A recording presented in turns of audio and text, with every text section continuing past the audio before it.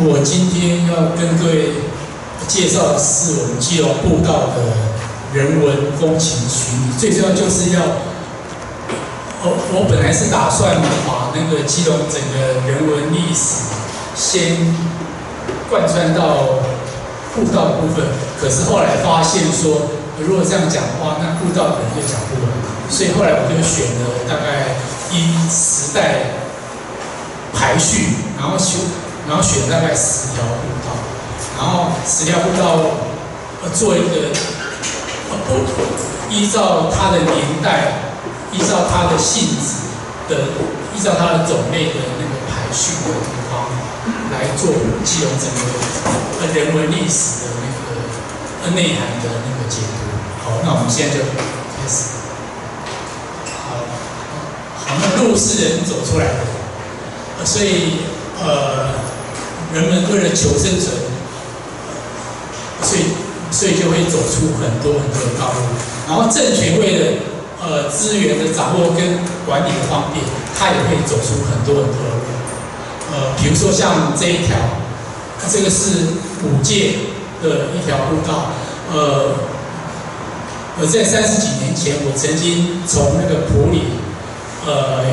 跟两个天主教的教友，然后呃搭。呃，搭那个呃到个地方集合，呃，然后在那个地方的话，有很多不同族的原住民，然后，然后他们就共同准备了很多东西，后来就来了一辆卡车，然后装了很多很多他们的日用品啊等等的，然后后来他们又把卡车开到一个一户农家，呃，上面又载了两只猪，然后。呃，途中，呃，开往过坑的途中，呃，中间又上来几个那个两三个士兵，然后不小心踩到猪，那个猪就吱叫。然后后来到过坑之后的话，就看，就开始各个人，呃，把他们东西都搬过去。呃，然后我当时，呃，就跟两个教友从过坑走到五界，呃，过坑走到五界的过程当中，那个那个步道非常的优美，小溪这样流过来。非常秀丽，那种感觉是可以说是终身难忘。然后在在五界就住了一个住了一晚，然后跟他们参加运动会，然后第二天又继续往取兵，然后再回来。所以这一条步道是非常令人呃难忘的关西旅游的一次步道。呃，这是人民走的路，然后在那个走的过程当中，就发现说有很多原住民，当时就。骑着那个山羊野狼，呃，然后就呃携带他们的物品，呃，所以这条路已经不只是人走的，而且也是那个呃机车走的路，所以呃这个路可以随着时代而改变使用方式。然后这一条是那个呃南横的那个原本是关山越岭道仅剩的一部分，叫做中之关步道。中石湾步道中间有一个日景住宅所，一般的日景住宅所大概就是六七个人，啊，顶多是三四个人。然后这个住宅所有三十个人，他们的目的当然就是监控对面的玉穗社有一个布农族的呃拉和阿美，他从一九一五年一直抗日到一九三三年，啊，所以所以这条步道是为了看一下。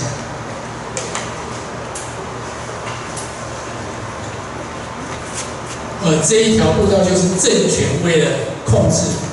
人民所开的一条步道，然后这条步道现在变成了非常优美的人们可以行走的步道。然后在呃，有没有人知道这个是什么地方？雕山古道。好，对，呃，它往南就雕山古道，往右的话就是可以到小金瓜露头。到大树跟废村到胡洞，然后往东往后面的话就参观了山，然后往东的话可以到树梅坪。树梅坪曾经发现含金的含金的海胆，然后再往东再往再往南的话就可以到那个呃就可以到那个半屏山或者茶壶山，然后再过来有一条呃石阶道可以到青瓜石，然后再过来有一条路可以到那个有个呃淘金客最早的地方乌土坑，那个地方曾经挖掘到那个清朝人的辫子，哦，这呃所以这个是一个呃淘金客古道的汇聚。点，所以说大自然创造出人与政权共同争逐的采金古道，哦这一条这个点是一个那个很多呃采金古道的汇聚。好，这一条呃这一条是太平山的那个剑脊怀旧古道，很很漂亮。所以从步道中，我们可以去像我的话，从关系旅游，从同好的共学，然后最后到自我的观察探索，呃，就可以使我使我们深深化呃对土地的感情，呃对土地的感情和觉知。所以这个是走古道，走步道，我们每个人都应该要想办法使我们自我成长。然后自我成长的方法的话，当然就是培养我们的眼光，然后增加我们的素养。好，我今天的任务就是要让大家了解基隆的步道里面的属于人文历史的这个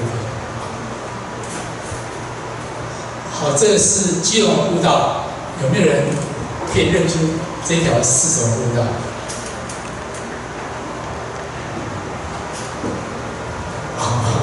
好，没有人发现，提示一下外木山。中山峡谷知道。好，呃，所以呃，走步道要有发现的乐趣。我认为说走步道，你可以用四，你可以用四个角度去看它。第一个话，每个人都会，哦，就是对景观的感受。第二个话就是地理认。地理学习认知指认，然后第三个话就是自然生态的的阅览，然后第四个话就是人文人文故事的想象。好，我们就一个来看。这个是中石关古道的绝路，然后这个是我们基隆杠子寮山的呃竹叶草小径。以以前我们在学植物的时候，淡竹叶跟竹叶草经常会分不清楚，所以就有人有人就发明了。一句口诀叫做“有淡无竹”，有呃就是那个呃就是呃有有有那个的这个是没有那个叶脉的，就是没有叶脉，这个是竹叶草，然后有那个有那个枝的。那个叫做淡竹叶，所以这个是很漂亮的那个竹叶草。好，第一个就是景观阅览，这个大家都知道是我们的青年湖。然后每个人对景观的感触的话，每每个人都很擅长，要把自己摆到哪个位置去拍照，哦，才能够显现出景观最漂亮的地方。可是有些时候，景观里面也有暗藏一些东西，比如说我们可以看到。最远的是立尔皇冠，然后再过来是立新友人草里面，然后再近一点的话就是海港大楼。海港大楼它其实也是一艘陆船，它是呃船头开往北边的一艘陆船。这个是日本时代日本人日本人呃建的一栋建筑，明治良医建筑师建的一栋建筑，它整栋建筑里面充满了船的意船的意象。呃，庄耀辉跟我有共同写一本那个探索海港大楼，里面有非常非常多船的意象。然后在围观而言的话，呃，这个是那个外木山大鼻的秀软纹，呃，就是水流出来之后的话，把岩石上面的甜美质慢慢带出来，然后经过跟空气氧化之后的话，就变成那一种红黑色的那个渐层，非常漂亮的秀软纹。我们基隆大鼻的秀兰纹大概是全台湾最漂亮的，所以这是围观的景观。然后再来的话就是地理，地理发现指认，地理学习跟指认。这是从九份看我们整个基隆海岸，呃，最近的这个部分的话，大概就是那最近这部分就是深澳、环澳、象鼻岩，然后再的话就是八斗子，呃，环保护育公园跟那个呃潮庆公园。如果要再细分的话，就可以长滩里山、七斗山、八斗山，然后再过去的话就是那个和平岛的那个一条龙，它的山是一条龙，有龙头、龙尾。然后再过去的话，基隆港，然后再过去野柳家，就是呃，然后我们如果近观的话，我们如果在基隆港看的话，各位可以看到什么？大概就是火号山，还有西二三号上屋仓库，然后还有一一过去的话就是那个水泥原仓，西十二 B 的水泥原仓。可是各位有没有想一想，为什么从西二三号码头、西四号码头？一跳可以跳到西十二号码头呢。好，我们再近一点看，我们就会看到，哦，原来这个是牛稠木雕杠的出口，从四号码头可以五六七八九十十一十二一 A 十二 B 一直到十二十二十二 B 原厂。哦，这是我们如果再细看的话，如果我们对整个地理。的指认，你要更细的话，你就可以有更细的了解。然后再来的话，就是自然生态的阅读。啊，我们基隆有很多，有大概七七八种是用我们基隆命名的植物，比如说像这个基隆泽兰，以前很常见，可是因为现在因为除草，所以大量的我们的那个步道旁边的植物几乎都被。大花咸丰草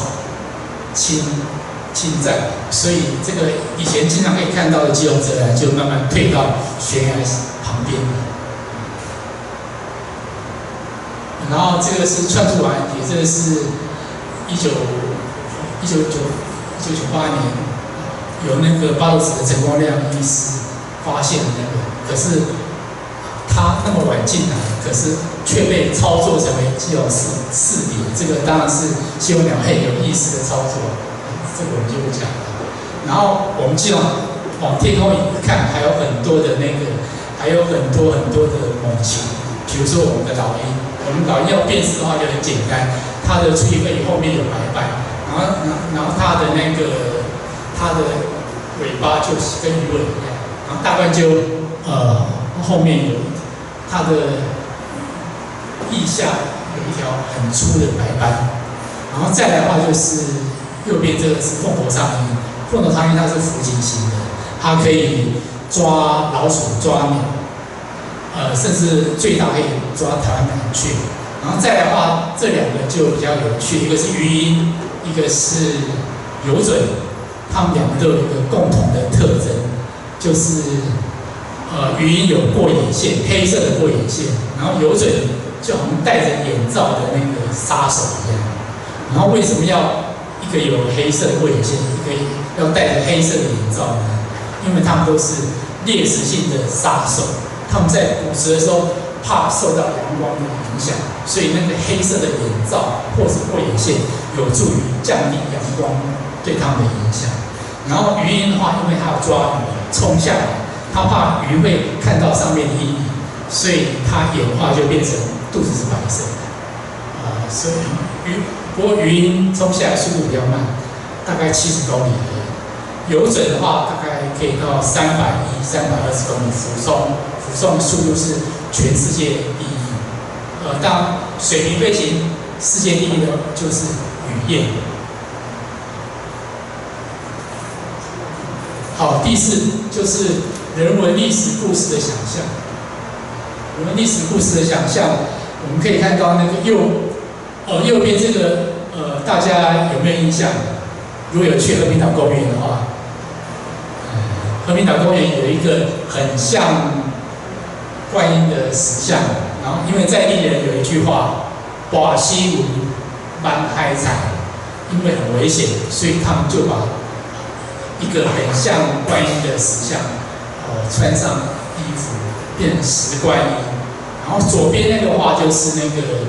呃，在我们的极乐寺新二路极乐极乐寺前面的第三番的那个石观音，西国三十三所观音林场的石观音，呃，西国三十三所石观音观音林场的，它算是一种朝圣朝圣之旅。在一九二六年的时候，首度引进台湾，是在新北市的那个巴黎的凌云禅师跟西云禅师。然后我们基隆话就是一九二八二九年的时候就进来三三所，然后分布在我们的各个寺庙里面，然后走一圈大概五十二公里。然后当时就是有日本人，日本来的一群人，有男有女，就穿着白色的衣服，戴白色的斗笠。然后，呃，有白色的那个金刚杖，然后到一个地方之后就聚聚集在一起，然后用鲜花素果祭拜，然后吟唱，然后一个一个地点去这样子走一圈，走三十三所观音名场，这个叫做巡礼，也叫做朝圣。这个在我们其中的很多寺庙都可以，前面或是都可以看得到。然后这个是，这个有没有人知道在哪里？应该大家都知道，红蛋山对，红蛋山三角点见面。然后这个是从哪里来的？有没有知道？呃，这个是那个呃仁义路，它不知道几巷，六七巷几巷。它原本在日本时代有个游廊，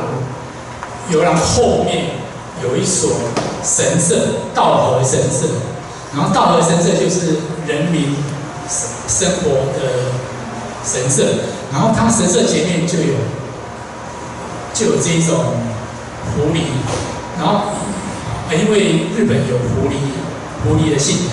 所以当时就流传的一句话叫做“狐狸狐狸家行修行，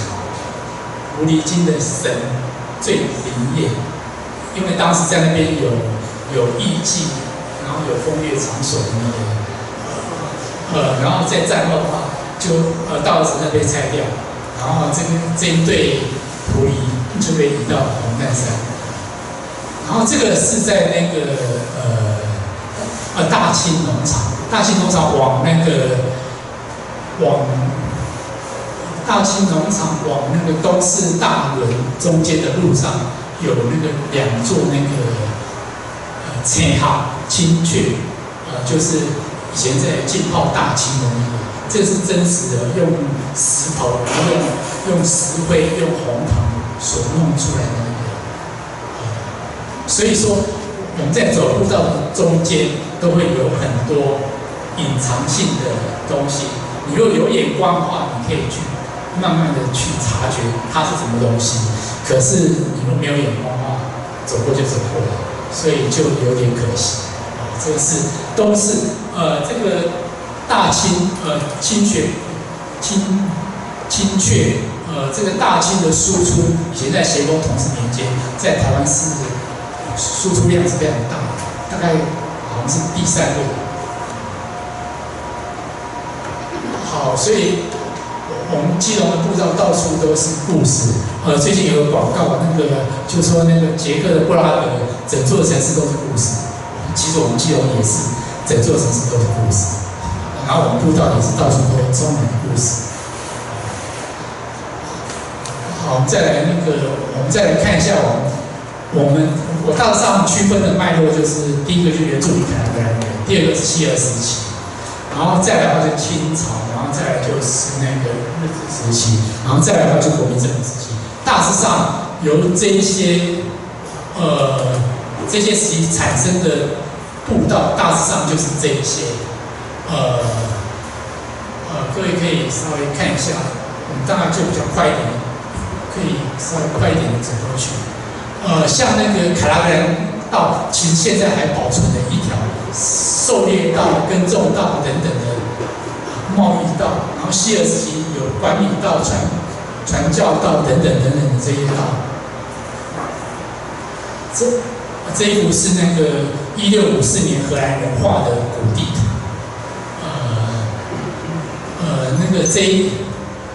这一块是和平岛，很大，然后这个大沙湾这个是正边，然后最窄的地方就是那个八尺米，就是八十米然后淡水在那个地方，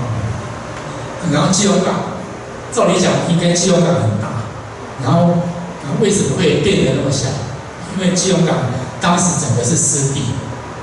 呃，没有，并没有人居住，所以就变得非常非常小。所以当时当时路道的系统跟我们现在的想法可能会不太一样。好，然后我们现存的步道其实最主要是基隆，是最主要是清朝清朝的步道。清朝步道的话就是那个汉人移民道，有漳州人泉州人移民道，然后再的话就村落联络道、姻亲道等等的，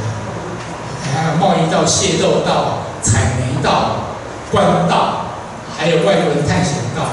还有炮台道，还有战争战争攻防道。所以说，其实就是。清朝所留存下来的步道其实是最多的，然后我们的步道还有一个特征，就是它有复合性，啊，这个可能我们等下再讲。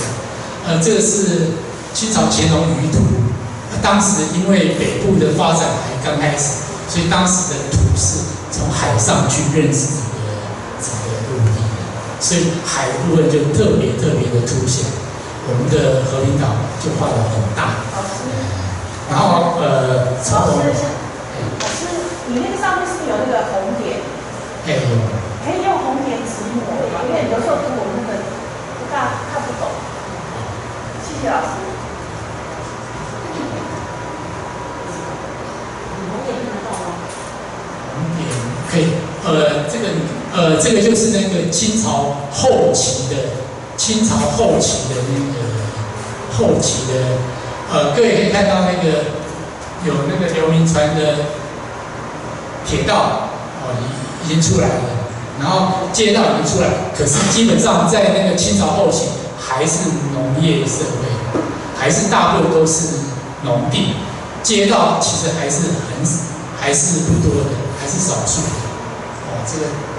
呃，然后有后宫后母岛。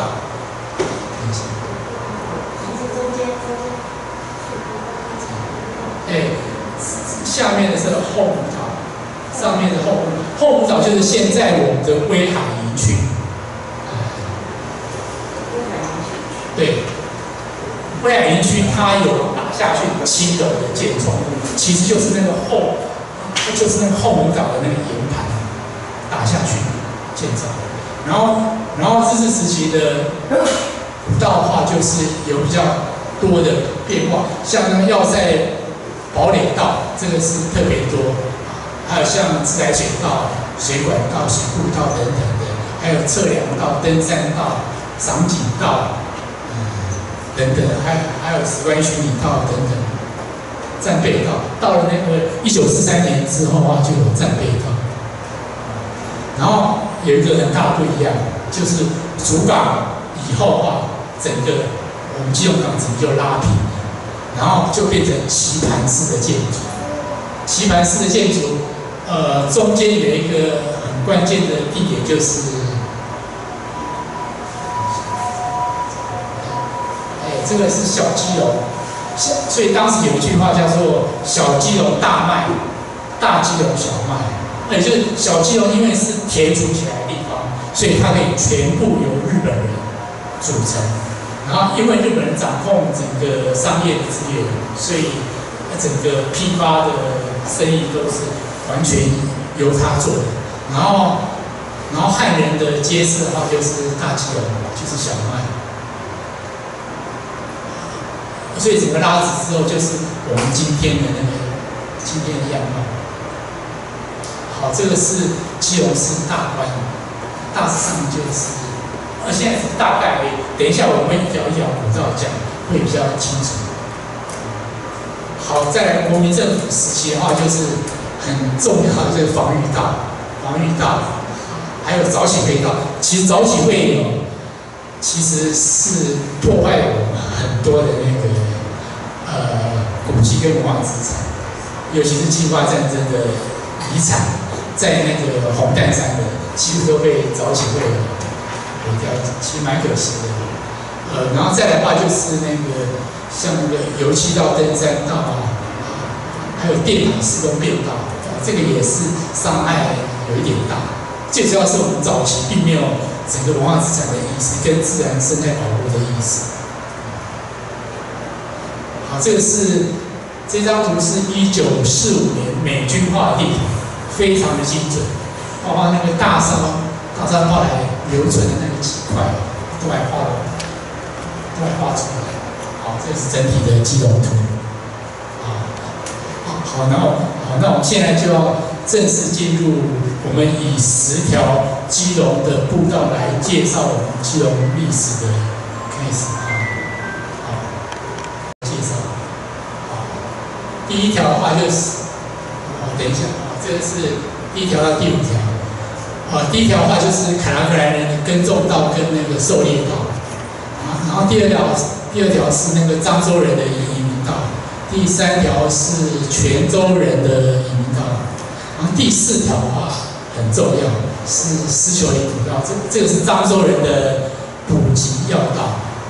啊，然后第五条淡南古道的话就是呃暖暖成为一个那个呃汉人移民往宜兰的中介站，它也是一个很重要的一个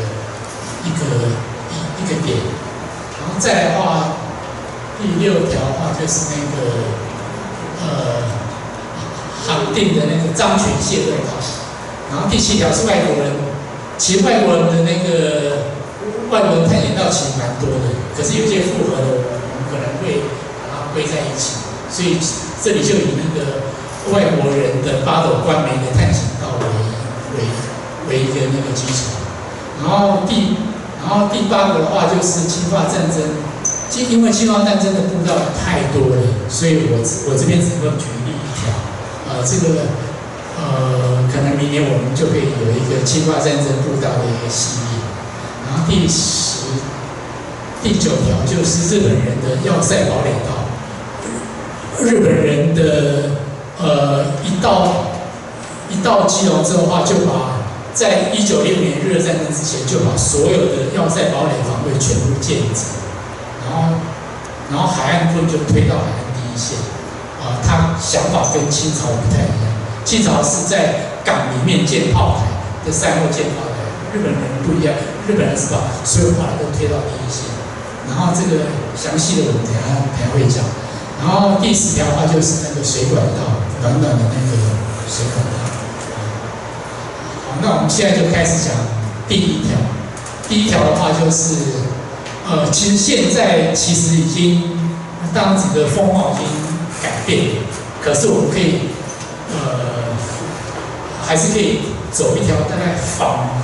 仿真的那个凯拉格兰人的那耕种狩猎，啊，比如比如说。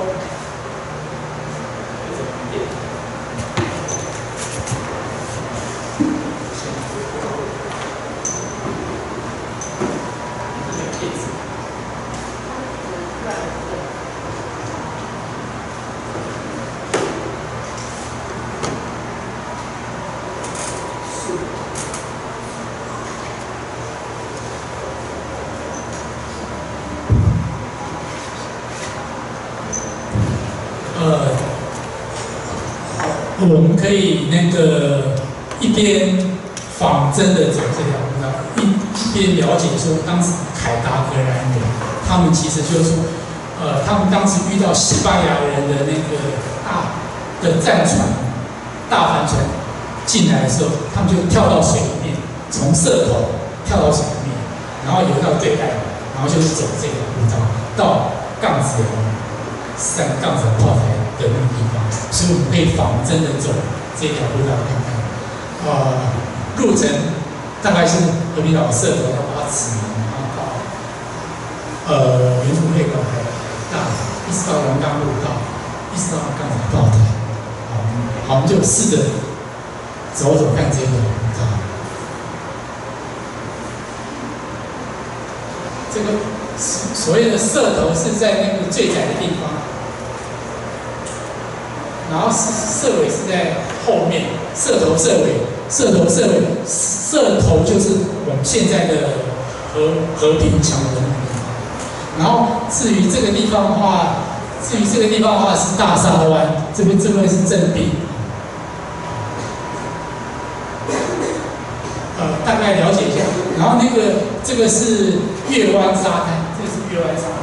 然后那边是圣沙瓦托城，现在是中在中船的里面。好，那我们就可以从社头这边，从社头土地公庙，好看，这个就是和平桥。这个是那个彩色屋，对，奇怪怎么少了一个？对，这个是这个是社头，然后我们可以从社头走到那个呃，就是社头土地公庙。社社头土地公庙有一有一个黑陶做的那个黑陶做的香炉，非常的漂亮。然后我们可以走那个和平桥，然后彩色屋，彩色屋再转上。转上原住民会馆，这个阿根纳游艇，然后再来的话就是沿着原住民会馆这一条路，他们以前一定是走山上，因为以前并没有隧道。好，我我们现在就可以呃走这条路一直走，然后走往隧道，通过隧道之后的话就就到达海大。海大以前是凯拉格兰人的环南场，以前他们种植的方。环南场。环南场。对。然后。海大上去有两条路，两条路的生态其实不太一样。这一条是靠海的部分，靠海的部分其实还有一些海滨植物的遗迹，比如说像那个双花蓬溪等等。然后另外一条的话就是陆路的那个，就是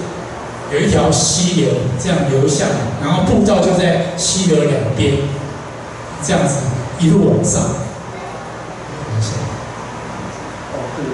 然后，呃，这个步道里面有个特色就是萤火虫。萤火虫，这是黑刺萤。黑刺萤，很多人都认为这个是水生萤火虫，其实不对，它是附生的萤火虫。它的幼虫就生长在落叶或是青苔上，然后每年四五月的时候，它就会发生。然后看萤火虫的话，就会你可以就可以分辨它的公跟母。啊，公的有。两个灯，母的只有一个灯，然后公的要追求母的。好，这个步道就往上，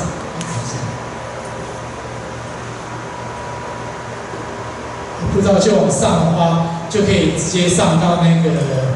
杠子寮炮台。杠子炮台，呃，呃，这里，我刚开始进去的时候，我们就可以看到那个。坚守卫社，还有马厩，还有那个上面有个哨所。坚守卫社的话，就是说出入的人员全部都要经过坚守卫社。好，这个是火攻作业区，因为以前的炮台的话，你要做炮弹的话，你不是一颗一颗炮弹做运到那边去，你是要把原料运到那边去，然后再。再经过装瓶，再经经过那个敲打等等的组合起来，才这就火工作业区，就是把从原料做成一个炮弹，然后放在后面的那个火药之库，然后这个就是榴弹炮的炮座，这里有六个榴弹炮，啊，他们当时所用的榴弹是二十八厘二十八公分的榴弹炮。然后呃，整个基隆，各位不晓得有没有这个这一方面知识，我还是稍微稍微讲一下。我们基隆港口，我们基隆港口左右啊，一个就是射辽，一个就是射辽炮台，一个就是白棉炮台，它是直射炮。港口两边最重要就是它是直射炮，它是可以射的最远。然后这两边的话就是。杠子的炮台跟杠子的堡垒跟木山堡垒，它是曲射炮。直射炮、直射炮跟曲射炮有有什么不一样？那就是当如果敌舰穿越的话，如果慢慢进来，穿越呃平射炮的射击的火网的话，到第二线，即便你看不到曲射炮，都可以都可以得到它。所以杠子炮台跟那个木山炮台。都是曲射炮，所以是紫色炮、曲射炮，然后再来是紫色，啊，而且平色炮、平色炮、曲射炮、平色炮的配置。所以，所以杠子摇后来就是介于那个两个平色炮中间的曲射炮。啊，这是它的观测所，它有两个观测所，第一观测所跟第二观测所，然后旁边还有一个那个探照灯丝，探照灯丝的话就可以探照成嗯到最前面，然后杠子的话还有一个特殊的植物叫做艳红露子柏，哎，这在杠子苗有，在道人也有，啊，这是我们非常特殊的，可是，在可以看得见的地方全部都被采光。所以只能在悬崖峭壁还有，这个是艳红露子柏，非常漂亮。然后那个在大概十年前，好像是二零一三还是一四年的时候，有一次的话，它中间有一个莺歌石，我叫老鹰石，就因为一个小时之内下了九十四毫米的雨量，所以就整个就崩塌下来。啊，本来这个地标是八斗子渔民。重要的一个那个呃判别地形的一个指标，可是那一年的话就整个消失了，非常可惜。呃，八斗子渔港在还没有建港之前的话，这里的渔获非常丰富，然后渔民就是以刚才那个老鹰石作为他们判判断位置的指标。然后在去年呃去年三月。呃，也是一场豪雨，杠子寮炮台没有杠子寮山的南边，整个就崩塌，整个就崩塌下去。这里本来有一间资源回收厂，然后整个就崩掉了。然后崩掉之后的话，就是现在就重建成了这个样子。所以说，我们基隆的那个呃悬崖峭壁很多，然后土石非常的脆弱。所以砍树是非常糟糕的一件事情。好，呃，所以基本上刚讲的这一条，基本上就是那个凯拉格兰人的的耕种狩猎道，其实目前还可以还可以仿真走的一条路，然后中间也有很多特色。我刚刚就把那个呃中间的一些特色跟各位介绍一下。好。然后第二条的话，我们就要讲那个漳州人的移民道。漳州人，漳州人在一七二三年，也就雍正元年，他们从那个八里分，从八里分越过淡水到到淡水，然后就沿着北海岸上一直走，一直走，一直走，然后就走到基隆来。所以说，我们如果在如今要仿他们的移民路线的话，哦，我建议有两个点可以开始。第一个就是那个，呃，马马术马术的那个万里，可以从马收的万里大桥开始走。然后，如果各位觉得那个太远的话，也我们也可以从我们的道路号开始走，然后走关木山海岸，然后去体验那个，然后一直走到那个我们的那个硫磺岛的这个地方，可以体验一下当时漳州人的。移民到的那个移民的过程，我想他们在移民过程当中，一定是看到好的地方，可能就有些人，就就是在那定居下来，然后再走一走，看到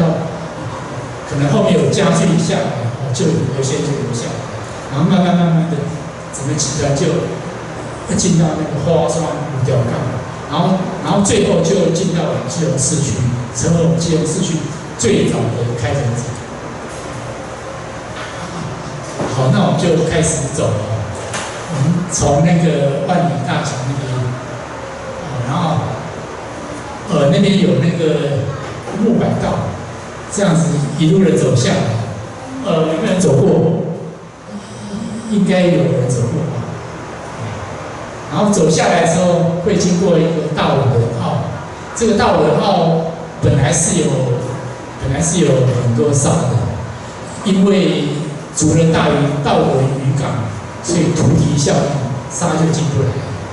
然后各位如果去去万里大桥那边看的话，就会发现说，其实那个马术溪的那个沙整个排不出来。所以本来那边的沙应该漂到这边来的，可是现在都已经漂不出来。所以他们要雇那个怪手去去去那个马术溪的河口挖沙，不然那个水都出不去。可是我们这边确实缺沙，大概二十一二年前，因为这边缺沙，所以我们花了两百万跟中国马尾、福州马尾那那个地方买沙来填这边的沙。所以这个是一个那个土地效应所造成的一个缺少，这是大人澳。大人澳的旁边以前就是那个老鹰的故乡，以前有一群老鹰在这边居住。好，我们就慢慢走，就走到了那个呃外木山的这个大道，可以沿着外木山大道中间就可以看到刚刚那个很漂亮的秀软纹，就在这个上面，大皮大皮的秀软纹。然后再慢慢往前走，就会发现有一条步道叫做海心步道。海心步道往往前走，往左的话，会有一个地方叫做呃，就是万山张家的坟墓。这个坟墓呃，其实也蛮有名，它有一个他有个故事，就是引藏毛发的故事。在那个清朝道光，在清在清朝道光二十年的时候，呃，因界攻打基隆，可是那个时候的话，就是有一个唐山来的风水师，就跟呃万山的张家讲说，呃，你要不要我帮你看风水？我帮你看的风水是引藏卯发的风水，也就是今年是寅年，我帮你们看风水，一旦风水学好，埋下去的话，明年卯年一定发。可是有个条件，就是你要把你的财产，你获得的财产分我一半。然后这个张家人就对那个风水师说：“好啊，我如果真的发财的话，我就分你一半。”啊，结果第二年真的有一艘英国的商船在万木山的海岸就是搁浅船难，然后张家就是上去抢抢夺那个商船的财宝。然后后来那个风水师就是听说传闻说，哦，张家有引藏宝发有发财，然后就过来说要跟他们要那个一半的财产，然后张家人就耍赖，就说没有啊，我我没有获得财产，然后这个风水师就很生气，就摸啊摸啊摸到这个张家的那个墓地的地方，当时不是这么大墓，当时就是一就是一个墓碑。然后在墓碑那边踩三下，踩三下之后，那个墓碑就整个歪掉。然后后来无论张家人如何去给他扶正，都扶不正。那这个是外木山引藏马发的故事，啊，这个是中间。然后，然后外木山的海岸，因为是悬崖峭壁陡坡，以前有很多金花石川。以前我们基隆的话，春天的话就是百合，然后秋天的话就是金花石川。然后金花石川也也有一个消失的故事，就是在民国四十八年的时候，在淡水那边有一有日本人去跟淡水那边的人去咨询说，你们这边有没有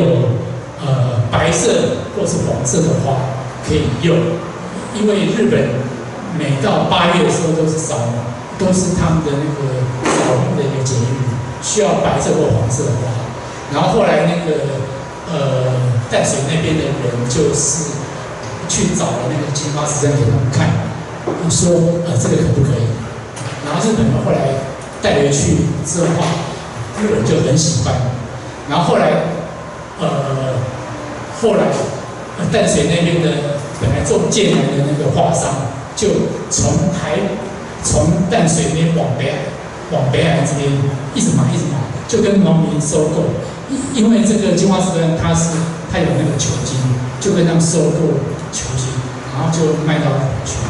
然后从从北海岸东北角一直买到宜兰，一直买到花莲、台东，啊，所以我们美丽漂亮的金花石砖就在秋天从我们海岸线消失，这是非常可惜、非常可惜的一件事情。因为我的朋友是是台大园艺系的。他的硕士论文刚好写金花石蒜，啊，这个是他曾经带我去那个带我们去那个淡水去拜访那个最初那个种金花石像，啊，金花石像的。好，再过来就是，我外木山本来是靠农业，因为它是礁岩海岸，它不能捕鱼，因为以前是小船，小船你若遇到礁岩的话，风浪一来，就破掉，就所以他们是没有条件，所以在所以在现在的协和社区，他们当时的话，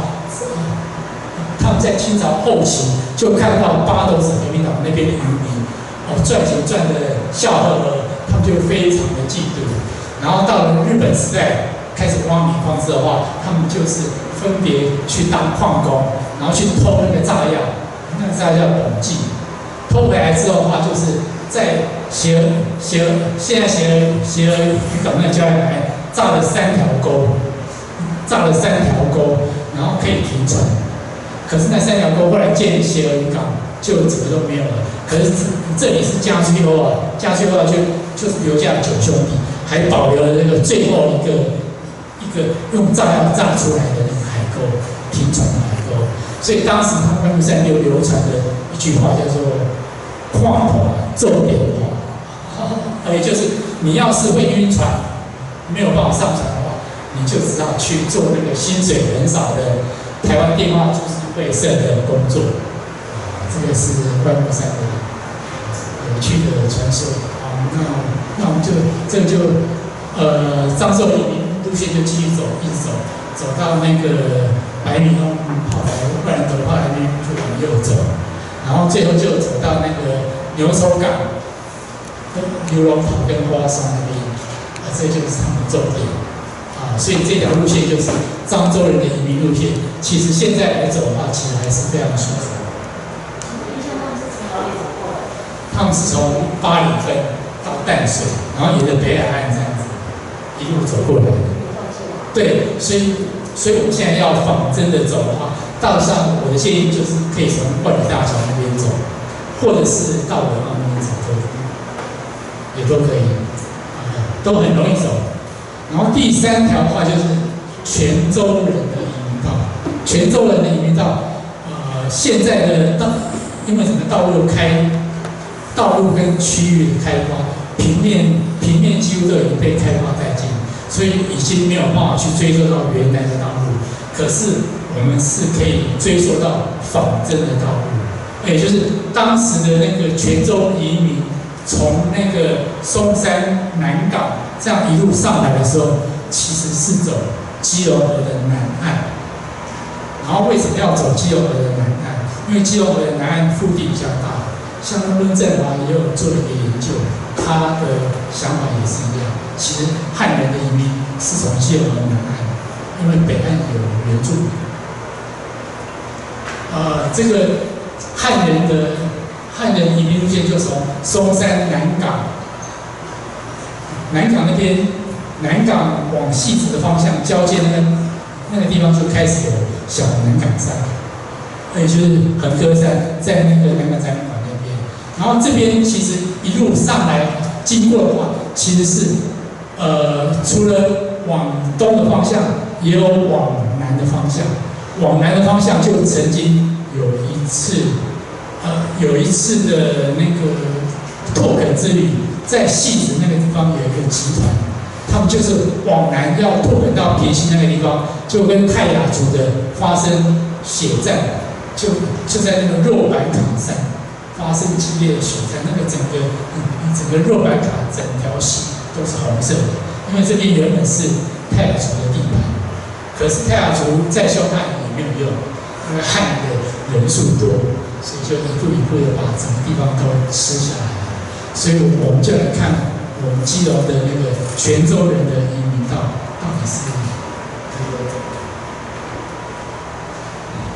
这个是那个南港从南港展览馆，各位如果有去南港展览馆，可以往东北看，可以看到横歌山、小南港山，这个是一堵，一堵。所谓的堵，呃，这个我有稍微做过一些那个，就是说日本人日本人安倍民意的看法，那个其实有点错误。呃，他说堵是那个防防范的那个，可是因为那个说来比较话长，所以我。就跳过去，这是一堵，然后再往二堵的二堵就是环南了，环南了，呃，现在已经变成那个公路，然后二堵再慢慢往前走的话，在那个我们在西子火车站北边那个地方有一个那个有一个地方有挖掘出那个刘铭传当时做铁路的铁桥的桥柱跟桥基，啊，石头做的。然后到一直，我们其实可以可以从戏子沿着那个基隆河旁边的步道一直走，然后会经过那个日本人建的五土隧道，非常漂亮的五土隧道。然后五五土隧道的上面就是五土南山，五五土南山整个都是，啊，下面都是什么？都是工业区、货柜厂等等。然后再来的话就是六土山，六土山是非常壮丽的。非常壮丽的一座山，呃，这个中间会，中间那个路会断掉，因为被那个马林天溪阻断，所以这个中间有一段你必须要走那个大路过来，然后到六土山，六土山的话，再继续，六土山它有一个非常错误的地方，他说什么荷兰人？怎样怎样，这个是这是完全错误的，险峻，啊，这是完全错误的。这个然后六五山再慢慢往前走的话，往右边在那个巴西河西，右边是巴西河西，然后后面那个是卧龙山，卧龙山就是七虎山，七虎山然后绕过来，然后慢慢慢慢的就可以到达大华桥，大华桥就是呃在那个一九一九九一一九九零年左右那个采砂。八九九零年的时候，采砂金的现场，因为当时在刘铭传在做呃从台北到基隆的的火车道的时候，曾经聘雇了很多越级的逐鹿工人，然后然后越籍逐鹿工人曾经到美美国去做服务，美国的话，他们从南呃他们东西从东西岸东边铁路大门，西边大安叫哈密的。东面大安是黄金，然后然后两边就约定说，谁先走到中间，这条铁路的整个权利就归谁。所以当时那康廷的很聪明，就请很多中国华工，然后华工很勤劳，很能工作，然后很多去到美国工作的华工，因为当时整个西部都还有采金，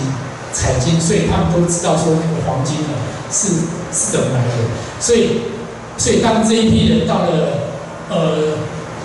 坐台北到基隆的铁道的时候，他们在做在做七堵，在做八堵铁桥的时候，有一个工人有一天吃完便当，呃，下去河里面洗便当的时候，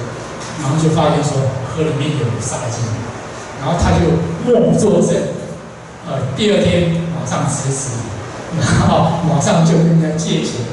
然后我，然后晚上就偷偷自己来采沙金，然后听说赚了。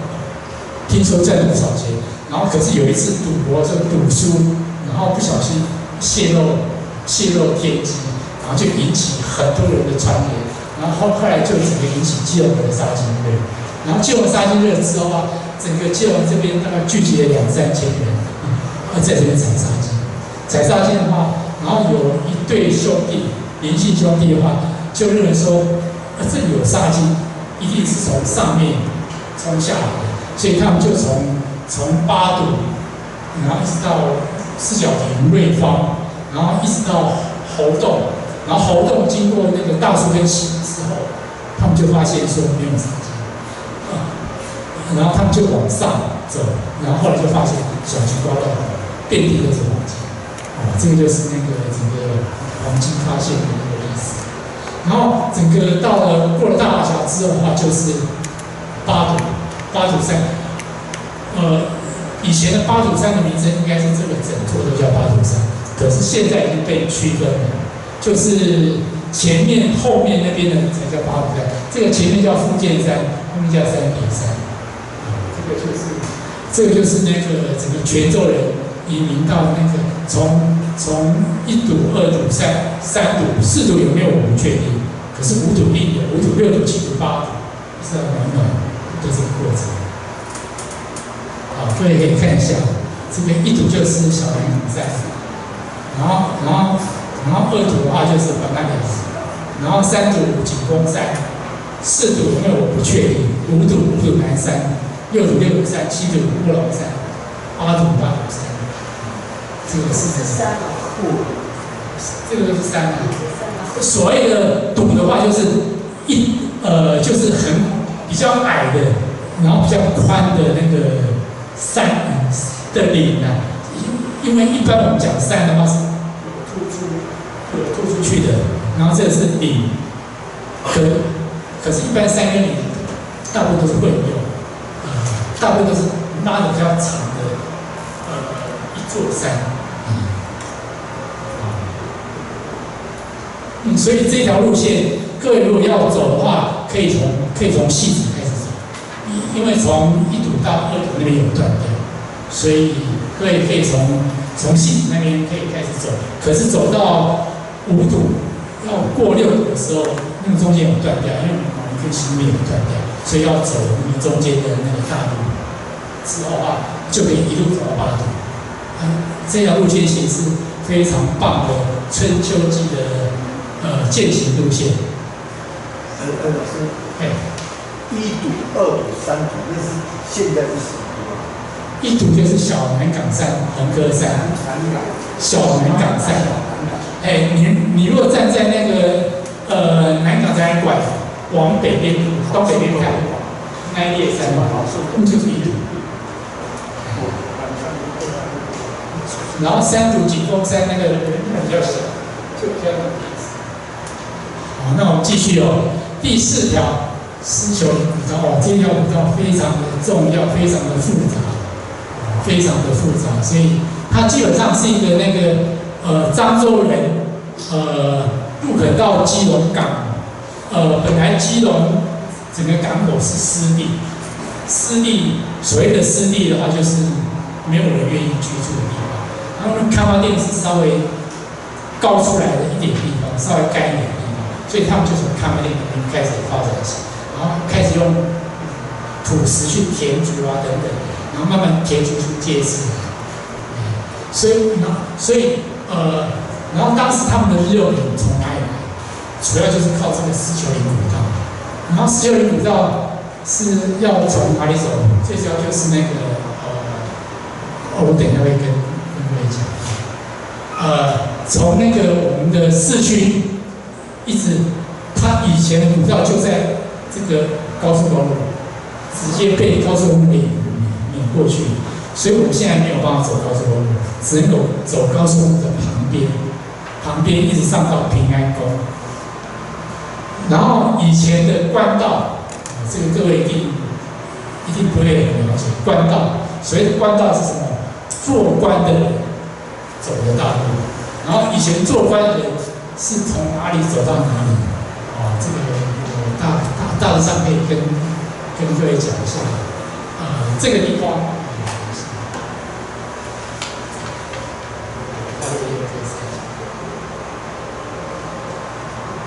这个圆形的，这个圆形地方是是这个圆形的，我我我用纸啊，这圆形的地方，这是基隆通派出所，基隆通派出所，也就是现在的。基隆市政府跟宪兵队那个地方，啊，也就是以前的基隆通派出所。以说，以前如果做官的话，呃，他们一定就是从从淡水那边坐船，然后插到基隆河，岔到基隆河之后的话，从基隆河岔到大武溪，一直到那个港口，从港口那边坐轿子翻山越岭过来，然后他们回去的话。回去的话也是一样，从通派出，因为我们的大致上用纸，从这个通派出，然后这样过来，过来的话，这一条桥，这一条桥就是现在的那个碧龙皇冠前面那一条桥，以前叫做二重桥，现在叫做义义重桥，义重桥，义重桥，然后从这边上来之后，啊，从这边一直走走。从这边直接上到石球里，然后后面那个地方的话，其实就是那个我们现在高速公路的那个路口的那个也是坐轿子，呃，也是坐轿子，然后坐到那个港口。嗯，各位如果有去台南，台南狗吊港，狗吊港的那个佛罗港西的那个地方，就有一个那个风神庙。风神庙那边有一个那个中庭。以前的话就是那个呃接官亭，接官亭以以前的大官一来的话就要画那个中跟鼓就要齐名，然后进到封神庙里面，咣咣咣，然后就很威风的那个。呃，可是我们基隆没有，可是我们基隆还是有坐轿子。大致上的官道一般人都不太清楚，然后官道中间只保留一小段。呃，我没有我没有拍那照片，在我们庙口，呃，爱山路斜对面有一条斜斜的，有一有一个福德宫庙，就是我们的举人江成辉，他他他去弄的一个庙。这个好，这个呃，我们如果到那个平安宫前面的旁边，就看到这个清朝的凉亭。啊，你们有没有人看过？有，有，对，就是走那个在平安宫前面，前面旁边，这就是清朝凉亭。所以我们的古道就是从那高速公路那边直接上来，然后上到这边休息一下之后的话，直接越过平安宫，直接越过，不需要绕道，直接越过平安宫，然后到下面，一直下到下面就刚刚靠。可是现在已经没有办法了，所以就要绕到狮球岭炮台。然后再绕到前的八祖炮台，然后再向那个，啊，这就是狮球炮台，我们就要绕狮球炮台后面，然后再绕到以前啊这个地方叫做八堵炮台，这个其实是清法战争时候非常有名的一个炮台，因为有一个法军的工兵上尉叫做霞飞，他曾经。督导过这个炮台，然后这个霞飞在第一次世界大战的时候变成法军的陆军总司令。哦，所以说曾经当过陆军总司令的人，曾经来过基隆，呃，帮忙督导过八土炮台的建设。可是现在，现在法军的遗址几乎都没有，清军的遗址还有一点点。这个下去就是那个，是油桐花。然后外国人的探险路其实也是走这一条。哦，外国人像那个一八六六年的科林姆，呃，就是走这条。他走这条路的时候，他就看到很多轿，很很多建筑，他们背着飞鱼、马，还有一些日用品，就从那个刚刚那边。越过四九里，然后到基隆市区，就是这个大文溪，沿着这个大文溪到看看，然后到那个，呃，后来还有一个古迪嘛，他还曾经画，他还曾经，他还曾经画过图，啊，各位可以看一下，看一下他画的图，一八八年，他画的图，这是他画的图，那船好大，跟当时的船。跟，当时当时基隆河的那个船运的，非常写非常写实的那种状况，嗯，然后再来的话，我们就要讲那个淡南古道。好，好，那我先休息一下，休息十分钟。好，那我们就继续，呃，淡南古道，呃，其实我们那个淡南古道其实是。是有一点复杂的一条路，因为它变化很多。不我们现在走的那个往东四根那一条，应该是一条比较早的，它也不是最早的。呃，所以其实呃讲这个的时候，也包含那个泉州人的那个村落联络道、产业道等等的。比如说我曾经。有访问过一个那个暖暖那边的人，他说他以前住在十分寮，他以前都是做布机，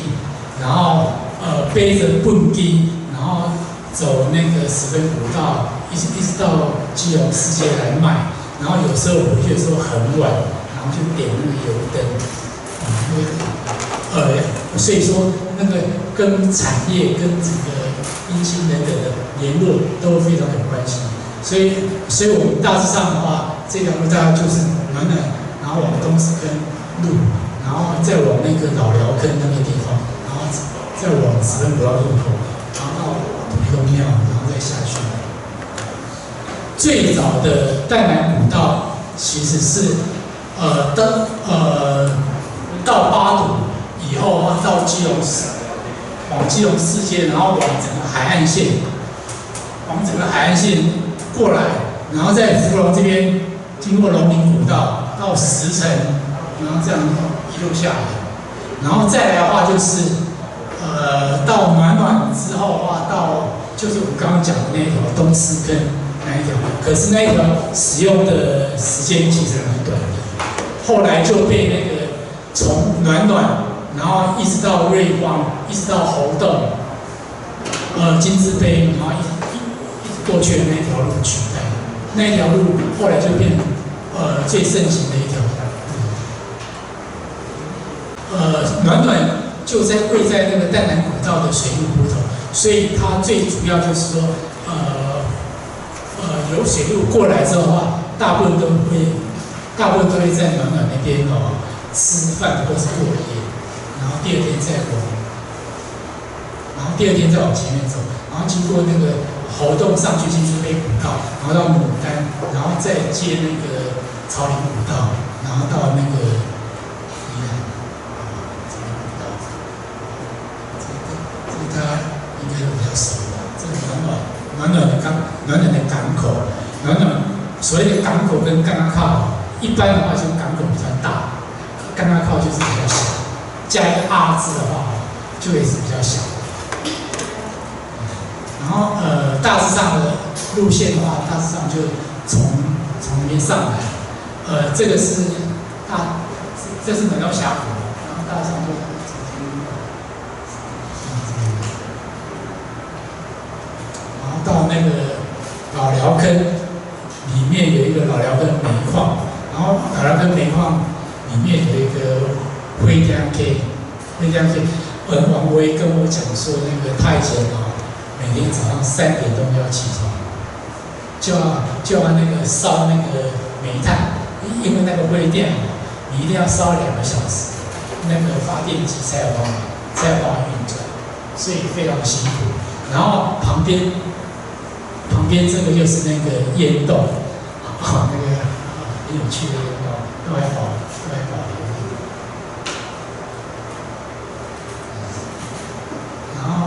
那个十分步道上去之后，有一些土沟庙，很有意思，然后就可以下去。然后第，然后第六条，我们就要讲那个漳泉线沟道。我们刚刚已经讲到那个漳州人的移民到、泉州人的移民道，刚好都是以那个狮球岭跟红丹山这一线为界。以南的话就是泉州人，以北的话就是漳州人。然后如果以整个北岸为界的话，大概。石门以东一直到芙蓉，主要是以漳州人为主，偶尔也会有泉州人居多。比如说像仙洞、八斗子、深澳、深澳有一点点，然后呃到了那个呃住，然后其他大部分都是漳州人。然后那为什么会漳泉仙洞？呃，就是主要就是说刚来的人大部分都是以同姓。同姓或是同同乡呃聚在一起，然后他们聚在一起，因为有共同的信仰、共同的语言，所以就排他性就很强。所以呃一一遇到土地境界的一些小或或者水路的一些小争执，基本上就会产生械斗。所以呃当时的基隆话就是械斗的话，最主要的地点其实就在狮球岭还有红蛋山航店的那个地方。其实是最明显的，所以，所以基隆就有一句话：“昂公为贵念，不是昂公为贵是在丢念，对不对？”当然还有一句话，这个就是那个，呃，啊，等一下，等一下，呃，以前的以前的路线应该就是说从基隆市街，然后走那个南荣路，走石英港，一直到那个南荣公路，然后再往上，然后经过杭店，然后越过现在的罗杰摩尔，直接下到港康。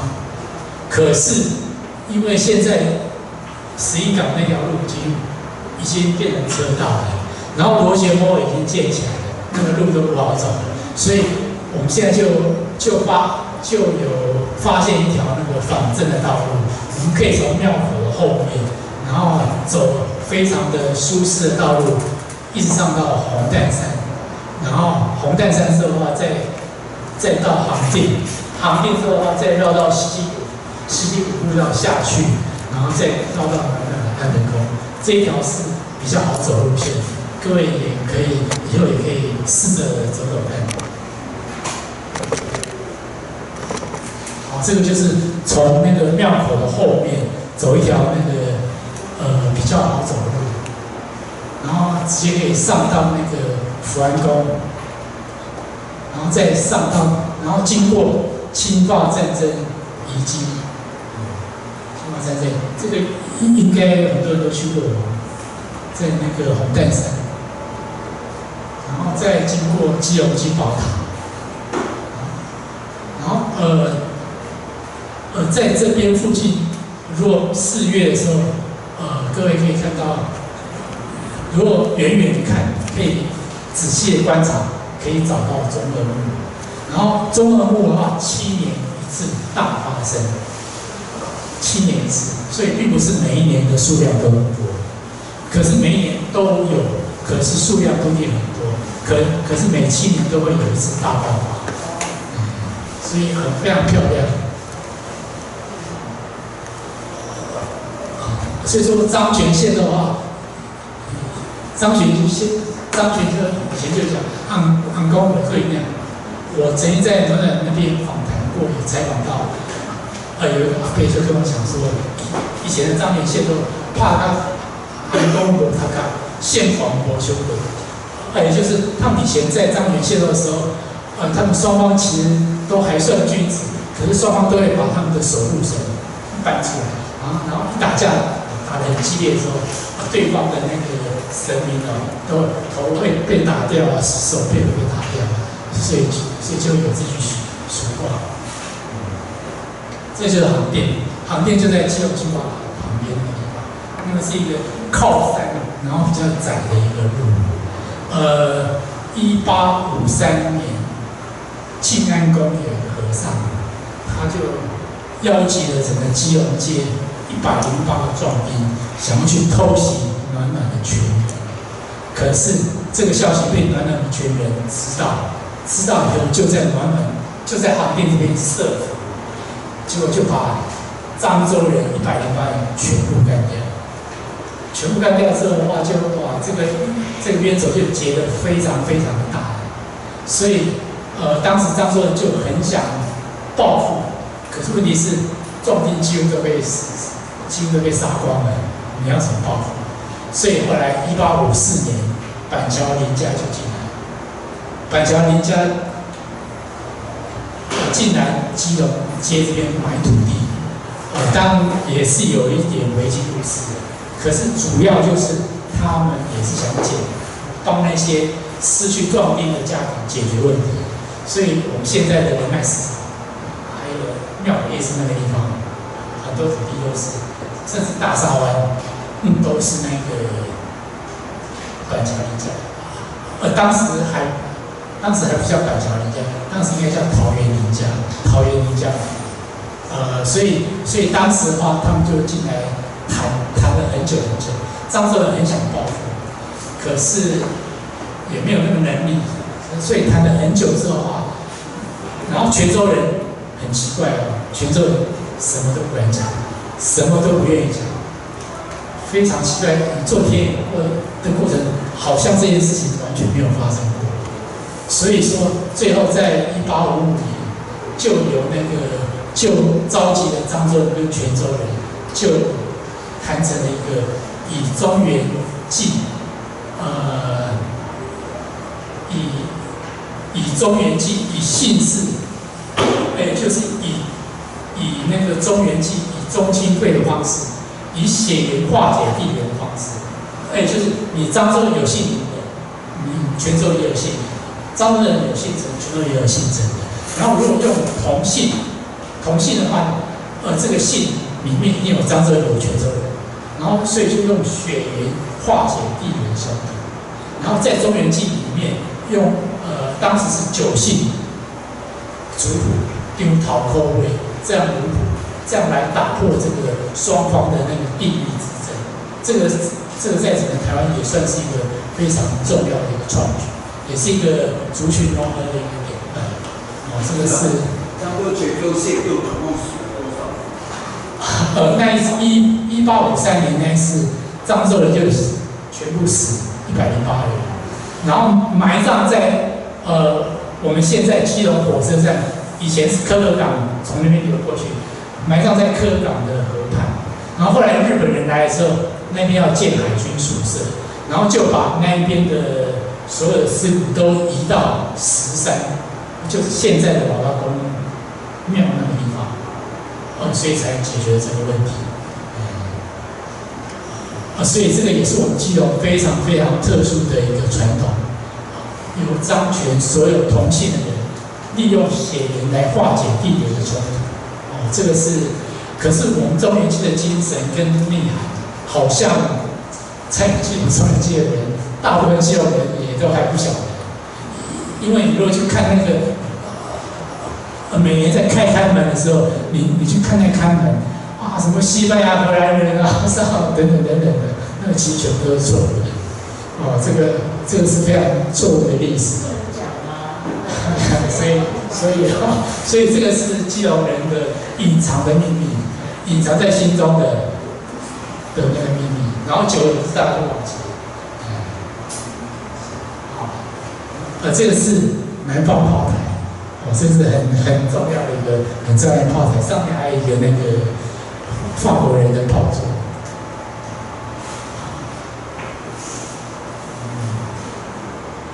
好，好，安德宫从西五绕下去，安德宫。好，然后第七条就是外国人他的官媒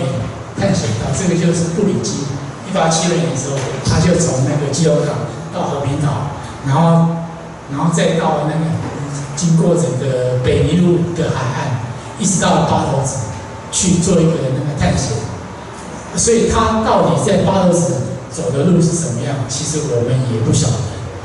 不过我猜想他应该有走海岸那条道路，所以他才会看到很多的豆腐岩。然后他说豆腐岩就好像巨人的瓷砖，哦，他这个形容是非常的贴切的。我们瓷砖都很小，然后巨人瓷砖就要跟豆腐一样那么大一块一块的，然后走起路来也会特别特别的那个，然后然后后来就绕过来，就走到那个条河街，然后走到八斗关梅，走到八斗八斗关梅，然后再到深澳根，然后再从深澳根到基隆港。其实这条路其实现在也可以也可以仿真的来走，不过因为前段已经变成公路了，所以我的建议是。我们其实是可以从那个从从那个区域探索馆那边走八斗街，然后从八斗街走望右，从望右谷往下面看一看巨人的瓷砖豆腐岩，然后走一零一高地，然后再走环保绿公园，再走朝境公园，然后再走福星宫。福星宫，福星宫这个地名的由来是造福清朝，挖煤矿送给那个。送到那个福州的那个兵工厂，哦，呃，让他们去使用，所以是造福清朝，福福清宫，然后再到那个清国景的，哦，再到海流龙才，然后再到那个丰坑，然后再到楚景，啊，好，我们就沿着这条路线走走看。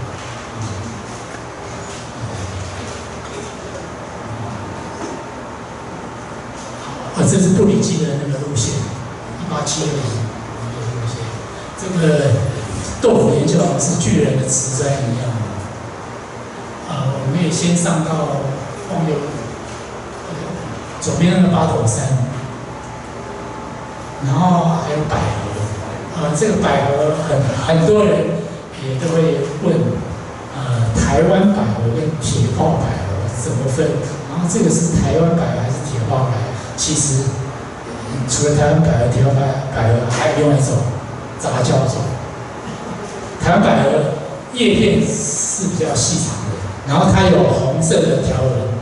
铁炮百合是白色的，然后它没有红色的条纹，可是它的叶片是比较圆、比较短。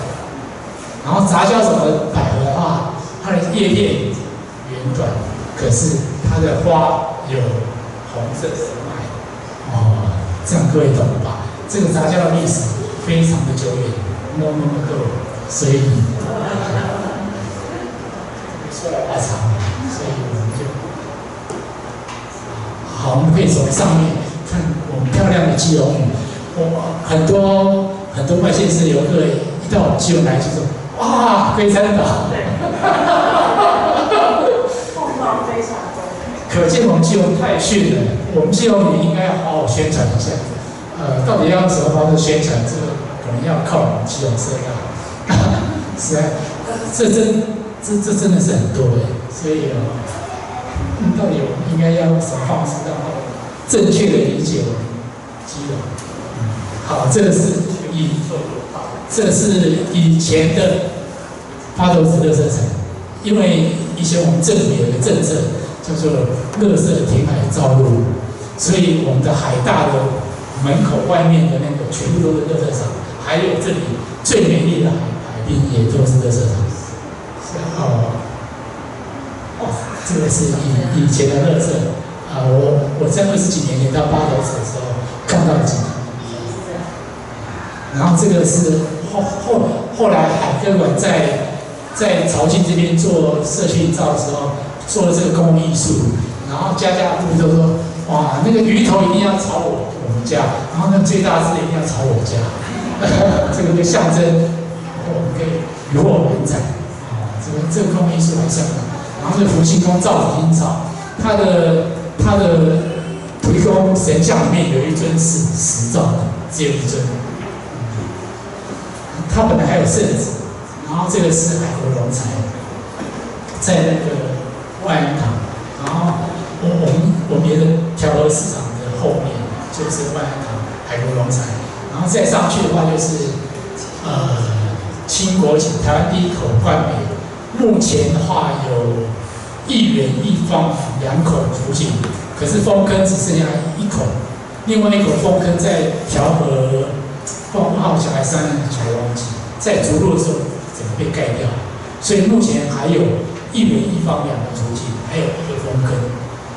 呃，这个这个要讲历史比较复杂，所以啊，然后我的采矿也比较复杂。可是那个在地的这个是风坑，风呃在地的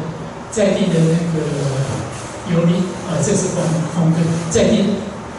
呃风坑的那个口。这我们都测量过了，包括竹井，竹井因为那个竹竹井大概九十二公尺多，可是那个已经整个已经已经被穿透，所以我可以一直到一百二十几公尺。呃，那啊这个是风根，风根旁边用的那个是泉州来的青斗石，然后呃以前那个。余营长在的时候，还有那个，各位有没有看到开平局照？开平局的话，就是唐山供供应北洋舰队的那个唐山煤矿，然后我们这边的八斗关美是供应南南洋舰队，南洋舰队的，这个是那个北洋舰队的那个防火砖，啊，这个这个还这个还在，啊，这个是方形井。嗯，好，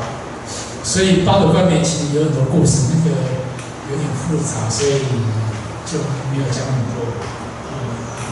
我们就继续讲那个第九、第八条，侵华战争攻防攻防战举例，因为只能够举例，因为侵华战争的的步道山太多太多了。呃，法国人走的时候，他法国人走的时候怎么讲？法国人走的时候就说，这里的每一片山头都有我们留下的鲜血，我们要告别这个地方的，呃，然后只留下回忆与坟墓，啊，这个是他们的那个，呃，所以我我们只能够举一条路线，一一条路线大致上就是，呃，指他们八月五号到六月，八月六号的那个。呃，攻击海岸炮台跟登上 A 点，A 点 A 点的那个攻防攻防攻防战的这条路线，大致上就这条路，还有法军的那个东方防御线，大概就这条路线。啊，路线的开始，我们可以从大沙湾炮台。大沙湾炮台这个是需要被证明的。呃，这个前任市场实习做了一个大气动历史现场。可是其实也还蛮糟糕的，他在有一个有一个案子叫做，他要去开挖那个什么基隆石围，然后当时我就跟那个团队讲说，那个这个是大沙跑来，这个不是基隆石围，然后他们当时还信誓旦旦跟我讲说，啊，我去跟文化局长这个可以改，可到后来都没有改，一千多万，简直就是。丢在水里面，非非常的恶劣。所以这个第一第一第一个点就是大大三炮台，然后旁边就是法国公墓，也就是法军登陆的地方。然后再的话就是那个，我们可以从那个小从旁边的小路一直走到走二三炮台那条路。其实他们有一他们那个登陆的路线有一条其实还在，可那个太陡了。然后又会碰到那个高速路，所以我就不建议各位走，所以还是走那个二三炮台中正路口那一条路。然后上去之后的话，到二三炮台旁边还有一条路可以通往一元一方的防御公司，那个才是真正打过战的侵法战争的遗址。可是那个不是古迹，真正的古迹是没有打过战的，而且是错误连连的。这个我们等下再讲。然后再来的话，就是我们可以从二三炮台旁边俯呃横看 A 点，然后到大佛禅院，一直到竹湖潭，一直到那个下面的那个下面的那个呃以前的日本神社，还有金融事务所，一直到海南啊，好，这条路线我们就稍，这条路线是大家都可以走的。而且非常的轻松愉快，所以非常的建议。好，我们就开始走了。这是错误的肌肉思维，呃，这个不是肌肉思维，这个是台南的那个弹药库的被整个玻璃包围在里面的时机。可是别人对待时机的方式是这样子的，可是我们对待时时机方式却是错误的，错误的那个。呃，现在。好像有提，我们有协助提案嘛？大二大三炮台证明。好，这个是以前各位有没有看到？这个大山炮台它有城墙，然后它有护城河，它有还有一个小桥，啊，是，然后它前面这边还有一些法法国人的坟墓，有十字架。哦这个是非常写真的一张照片，旁边就是所谓的法国公墓，然后再过去的话就是以前的大沙海水浴场、古巴海水浴场。这个法国公墓里面最早的坟墓就是这四这四座，然后后来一九零九年，法国要求日本政府帮他们做一个法国公墓，然后日本人就把。整个法国墓围起来，然后那个就立了就佛国将士等等等等等等的这个碑，然后后来好像大概十几年前吧，有人就说啊，那法国公墓那个什么尸体全部都移到那个法国去了，哪有这些事情？然后我我们镇沙里的前里长玉明发就说啊，好，那我就挖看。然后他就过去挖，然后就挖了多多久，一个头骨就出来了。这边大概有七百具的遗骸，嗯，所以其实蛮多的。然后呃，在呃法国宫的对面这个地方，在日本时代的初期，在主路的时候，有有一个那个呃和平岛社寮岛的保证叫做叫什么？名字？呃，他就呃看到那个旁边有很多石，然后就把它收集起来，然后就立了一个碑，叫做倾国人之墓。呃，然后后来，呃，有一个市长叫做谢冠一，他就把这块地卖给他的好朋友，然后这块这个碑就飞到，就用飞的就飞过基隆港，飞到基隆港的西岸，然后后来因为这是威权时代，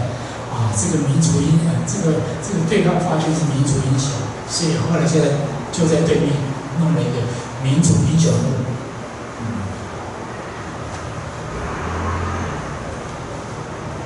嗯，这一张的话就是那个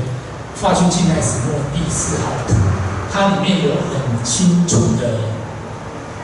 的战舰，每一艘战舰对着一个炮台，然后那个炮台就有那一艘战舰的功能，所以当时有三座炮台：大山炮台、二三炮台，还有仙洞门炮台。这个是大山炮台，它的舰就是最远的这个，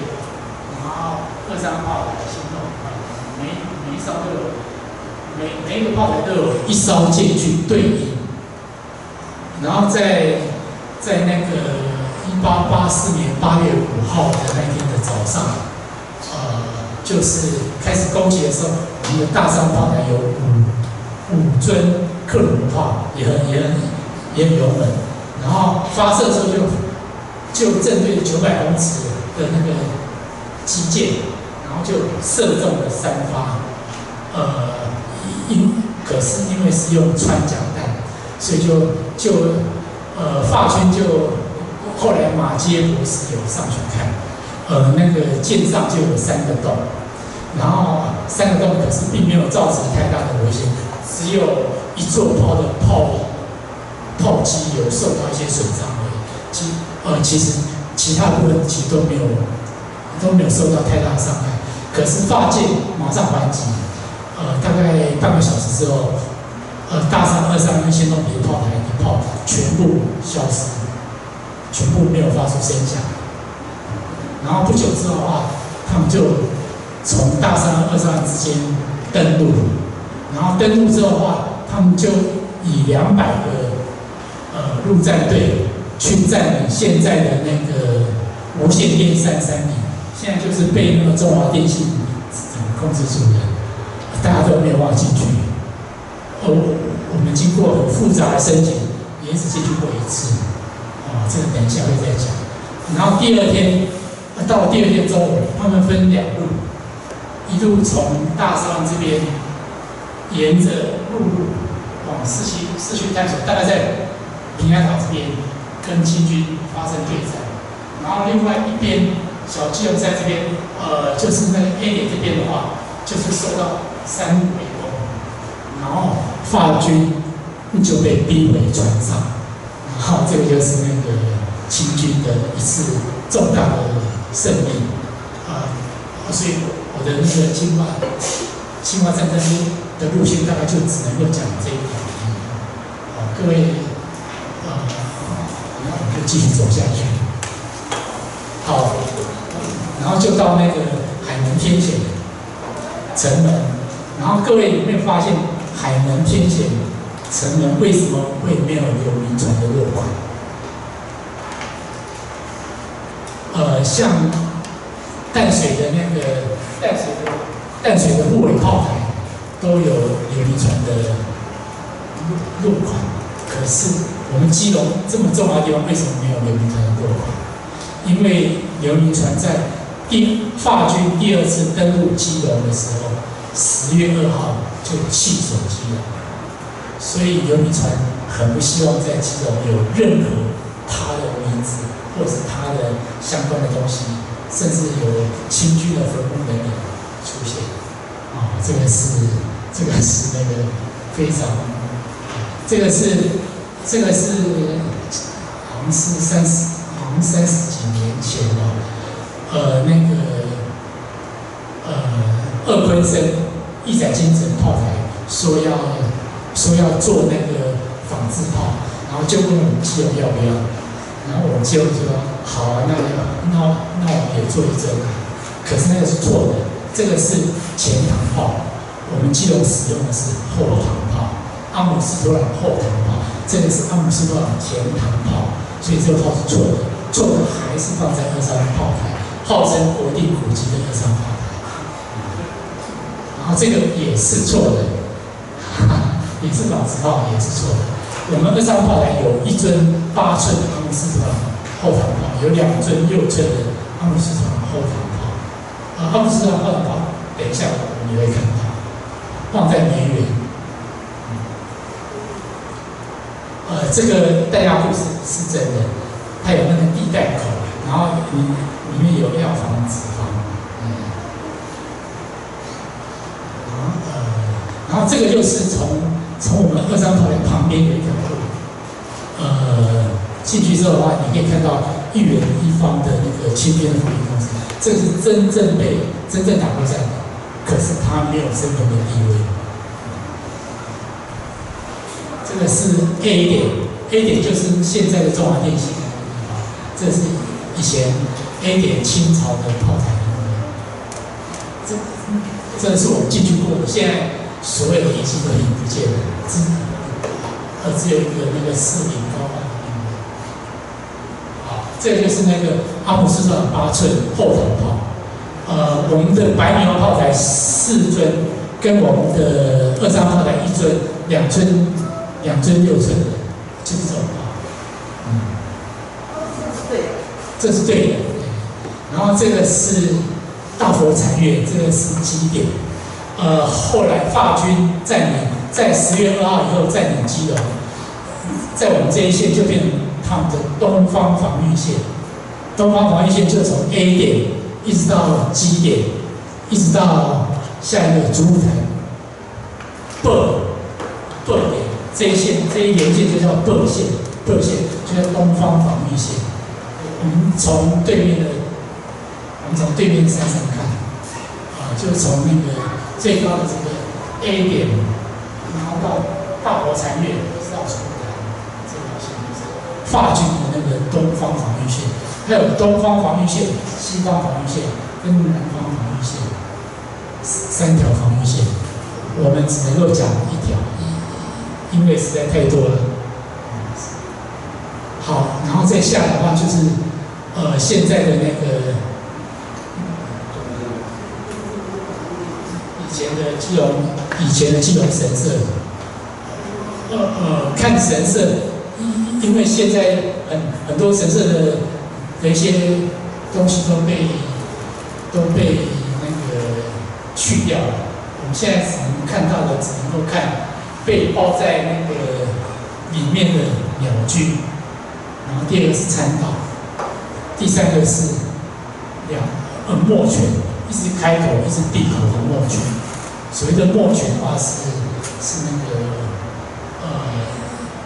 呃日本神社的防御。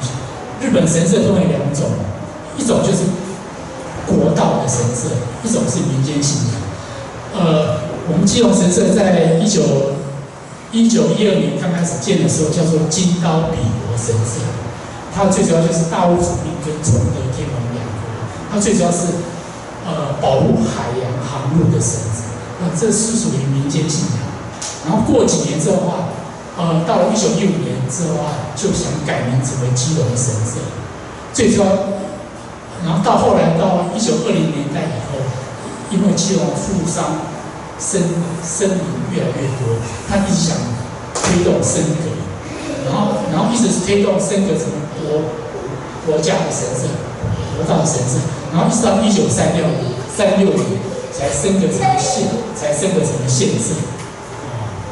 然后升格成为县社之后啊，他们就要了一门阿姆斯特朗八寸火的话，就是我们刚刚看到的那一门，那一门是日俄战争的时候，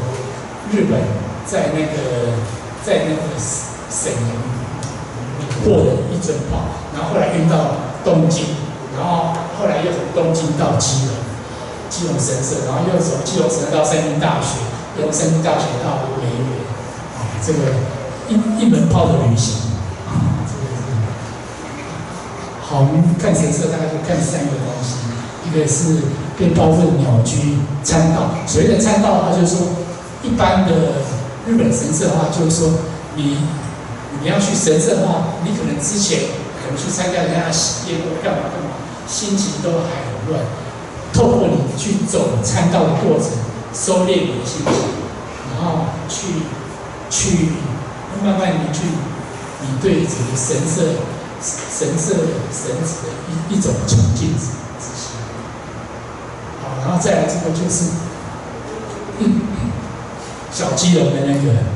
呃，有基隆银座之称的那个小基隆，以前的海，以前的海大致上就是从从这里看那边全部都是海，从从这边都才是陆地，然后因为这边是填海造陆所成，所以日本人就可以整片变成自己的那个，所以所以小基隆大卖，大基隆小卖，呃，这边就变成整个基隆货物批发的一个一个根据地。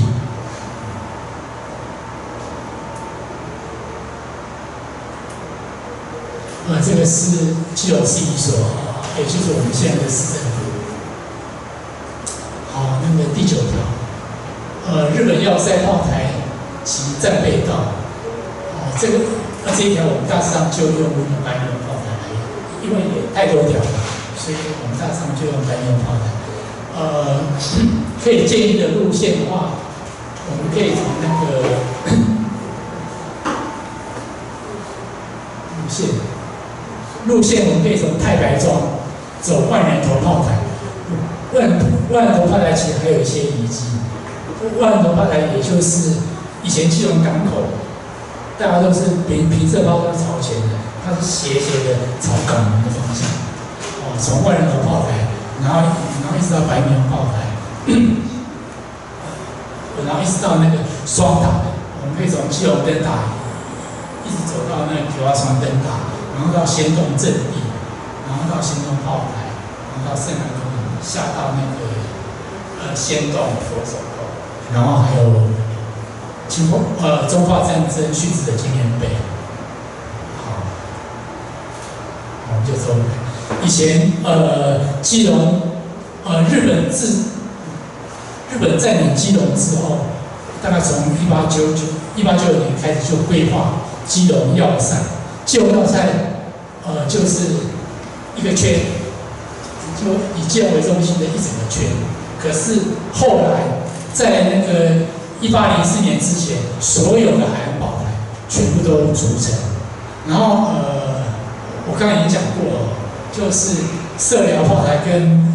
跟白鸟炮台是平射炮，然后杠子炮台跟木塞炮台是曲射炮。平色、曲色、平色、曲色这样子，对，嗯，这样，这样炮台大致上就是可以把基隆要塞的炮台这样圈一圈圈起。呃，这个是从那个我们若走的话，就是从万源头炮台这样一路往上走，然后走到基隆灯塔，走到基隆灯塔的时候再左转，呃，各位就会看到一个。山洞可以进去的，这个是那个一八一九四三年的时候，呃，全台湾全岛要塞炮所建的一个山洞炮台。呃，在高雄也是有做，也是有建六座这种炮台。它的里面就是有，各位可以看一下，它一进去之后有两道，然后这个是十公分的那个平射炮，十公分的平射炮有两座，然后是。这个主要的目的是保护基隆港口，这个在社寮岛应该也有，在和和平岛应该也有。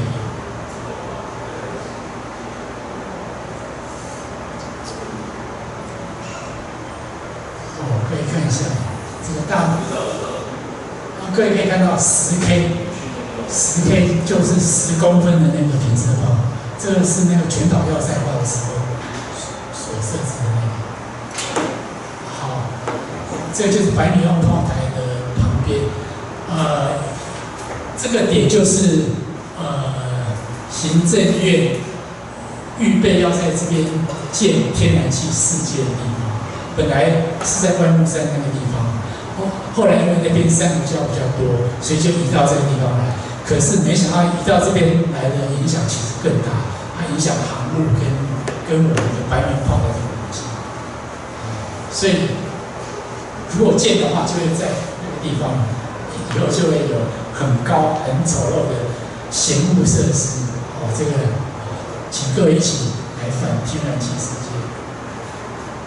哦，这是白云炮台的炮。四门炮是平射炮，当时是八寸的阿姆斯特朗后膛炮，然后上面是那个观测所、射击指挥所。这个是那个菊花双灯塔。呃，刚才的那个基隆灯塔是一八九五年建的，这个菊花双灯塔是一九五六年。然后在现在的光华塔的那个地方。以前叫做万人队、万营队、万人队比，啊，这个就是非常漂亮的一个万人队，很可惜被除掉了。然后，然后再往下走的话，可以到那个呃基隆主港所的观测，然后还可以到基隆主港殉职者纪念碑，然后还可以到仙洞岩。仙洞岩基本上的话就是。清朝的文人雅士的留言板，里面有像夏县人啊，呃梁存，基隆通判梁存富留的一些那个海外洞天啊等等的佛手洞。然后我们从仙洞出来之后啊，还可以再往旁边的佛手洞。佛手洞以前称为鬼，以前称为鬼洞，是清水祖师。大战恶鬼的一个洞，然后后来发现佛手，佛手这是反面的秀人，啊，这是非常特殊的。可是现在因为那个里长啊，把那个地面啊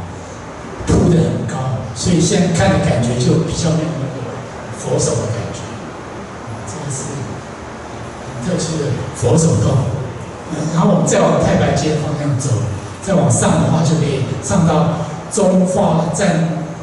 中华战争殉职者纪念碑，这个地方就是那个以前法军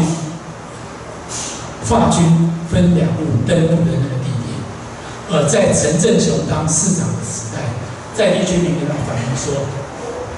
晚上的时候睡觉不太安宁。然后后来就举办了一次法会，然后据说那次法会非常的硬。然后像我们有时候去参加。上架的话，都要去采那个榕树的树叶，采七片，然后放在口袋里面，这样会可以压低那个阴气。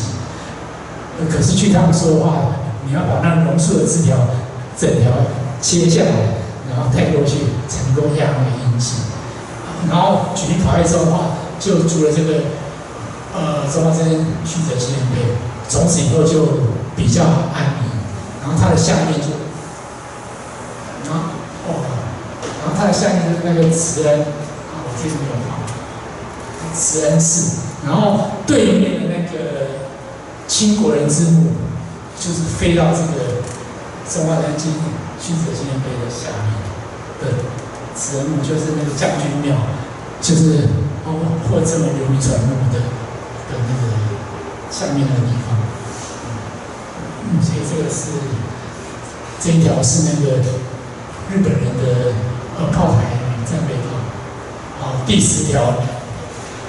暖暖的水管路，这这一条应该大家都大家都比较熟。我们可以从那个暖暖溪口的水流洞看一下那个水流洞，然后一直往那个水渡头那边走，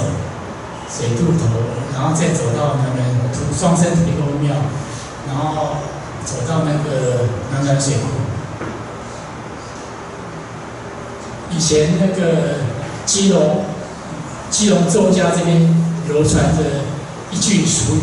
追劳当脚回康。”因为我们台湾西部的水都是往西流，而这边住暖暖溪注入基隆河的水是往东流的，所以他们就把握这个风水，追劳当脚回康啊，所以我们就可以往这边走，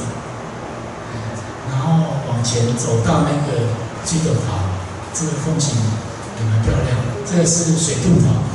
也就是抽水，呃，给那个自来旁边的自来水厂使用。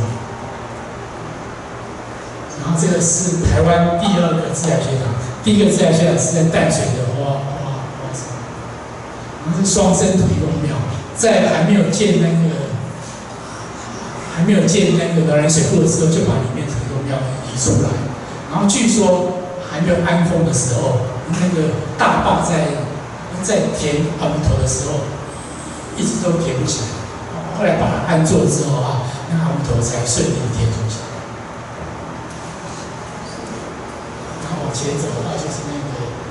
呃，经过一片那个自来水厂的森林。可是，在前几年，自来水厂无预警的把那旁边杜树森林全部砍掉。然后暖暖的王喜之下，他就发起一个运动，希望森林就抗议那个自来水厂砍树，然后就重新种森林，取名希望森林。然后再往前走的话，就是那个水库，它旁边有一个自然溢流的那个地方，然后旁边有一个那个基隆水道储储水池、储水池纪念碑。好，那那个对前面我讲的有没有什么问题？先可以问。呃，如果没有的话，我就换我我要提问题了。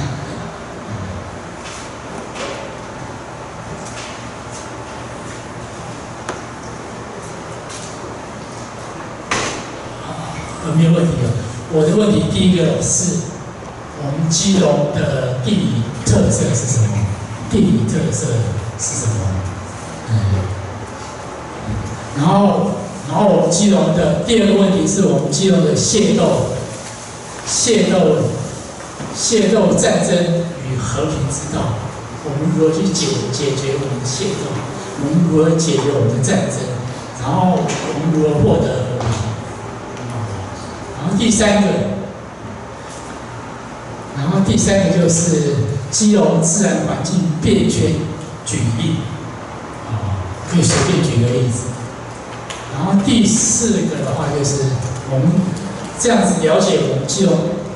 步道里面有那么多的人文的特色之后的话，我们基隆步道的整体的特色的总和的想象，你可以想象说我们基隆的步道。应该可以发展成什么样的一个主题的一个步道，可以来串接我们的那么丰富的人文历史的步道。那这个是前面三三项的一个总和的一个那个，好，当然会有提示。这个是一八八四年法国人画的地图，后母岛、后母岛都还在，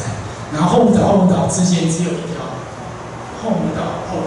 后门道、后门道，中间这样一条浅浅的水路径，这边，然后这边是长阿寮，长阿寮刷花刷，然后这边是那个，然后当时的话，当时的基隆是以农业为主的，在更早之前，基隆其实是个湿地，没有人住，全部都是鸟在住，跟螃蟹、跟招潮蟹、跟跟一些水栖的东西在住。好，基隆曾经是布道之城。一八八四年，法军进到基隆的时候，发现说基隆没有路，基隆所有路都是用走的路啊，所以我们基隆曾经是布道之城。这个是在那个关部，呃，对面那个山就是放置那个铺爪雷塔的那个乐山。我们可以参考一些、参考一些、参考一些案例，像近年来发展出的一些，像千里步道的环环台步道，还有像淡南古道，还还有像藏之西路张修最主要是沿着台山线的那个路，可是有些地方其实都被破坏了。然后那个山海郡，山海郡国家绿道是那个台南社大的，他们发展出来的条路，从那个台江内海，呃，走那台江内海走那个安南区的那个福福富路，本来那个地方是台江内海的，一八二三年之后的话，呃，曾文溪水把沙子整个冲下来，把台江内海整个填掉，所以就变成那个台江内海服务地。然后一八二七年就有人进入开垦，然后所以走那条路之后的话，就再上去就走那个江南大郡、八田雨衣、乌山头水路跟真水路，然后再上去的话就是走那个原住民的州属原住民的，像特别古道啊等等，然后然后最后到那个呃那个达尔加安部，然后最后登玉山，然后登玉山那个呃这所以说很多地方都各自发展出他们的一条的或是环台的或是怎么样的特色，然后然后我们基隆的步道可以做整体的怎么样的去发展，我们不一定要学别人，我们有自己独特的特色，可是我们可以怎么样的发展，这个是可以有各自的想象，而且没有单一的答案。这个是我们的漂亮的基隆，所以我们基隆也是非常有潜力的一个基隆。提示，提示的话，第一个话就是山海河，我们有山海河，而且都浓缩在一起，还有港口。然后第二个，我们有族群与政权的对抗，呃，然后族群与政权的对抗，我们还有那个整整体的那个阴阴阳的跨界的阴阳和解，嗯，然后第三个，呃，第三个就是我们的陆哥家族找不到家，所以各位到立隆皇冠前面的话，就会发现说有夜路、小白路、黄头路在在那边筑巢，在最热闹的地的地方的前面主场，然后大片它的一地，呃，为什么会是这样子呢？这个可能我们可以去思考一下。所以我们可以思考一下，我们既有百分之九十五是山地，只有百分之一的平，百分之五的平地，所以我们有很多，那虽然有很多路被开成道路，可是还有很多葡萄，所以这是我们很大的一个特色，而且还有港口，深入内陆的港口，跟台北港那是不一样，台北港那是人工港，基隆港是全台唯一的，在清朝末年是全台唯一可以。停泊六百吨帆船的天然港。第二个，然后我们有械斗，有战争，然后接下来我们有和解，我们有跨界的和解。这是法国公墓的那个每年周年庆的时候，我们用红酒、放吐司等等的去祭拜我们的那个，然后这个是。一楼皇冠前面的陆科家族找不到路，找不到家，他们原本的家在哪里呢？原本的家，呃，在那个，对对，旭川，呃，就是那个西地那边的，所有的树全部掉对，所有的树被赶到市出来。没错，还有天桥后面那边也也有一处违建，本来也是他们家，可是现在还没有把从市区赶出去，赶到哪都不知道。现在现在市区还有，对，但是已经没有原先的。讲了，它因为太多了，地上都是大便，对，很多行人因为要走那个田寮河运动，就嫌他，然后就硬把他赶走。我就不懂说他他到底错了哪？你把人家家，对，然后现在把他赶来赶去，没错，这个是没有道德。没错，我们基隆港原本就是私密，他他才是原住民。所以，我们基隆港其实应该要找个地方，做一个生态池，种一些树，让他们栖息。当初他们做的工程师就不该把这些树给。对，没错，哎，这个原先错误的印号。对，这个就是错误的开始，这个我完全赞同。所以，可是，可是既然已经没有办法了，对啊，我们其实应该找个地方，然后至少要弄一个生态池，种一些树，就像大安森林公园一样，把陆客家属都可以让他们有个家，这个是一个非常重要的一个思维的线索。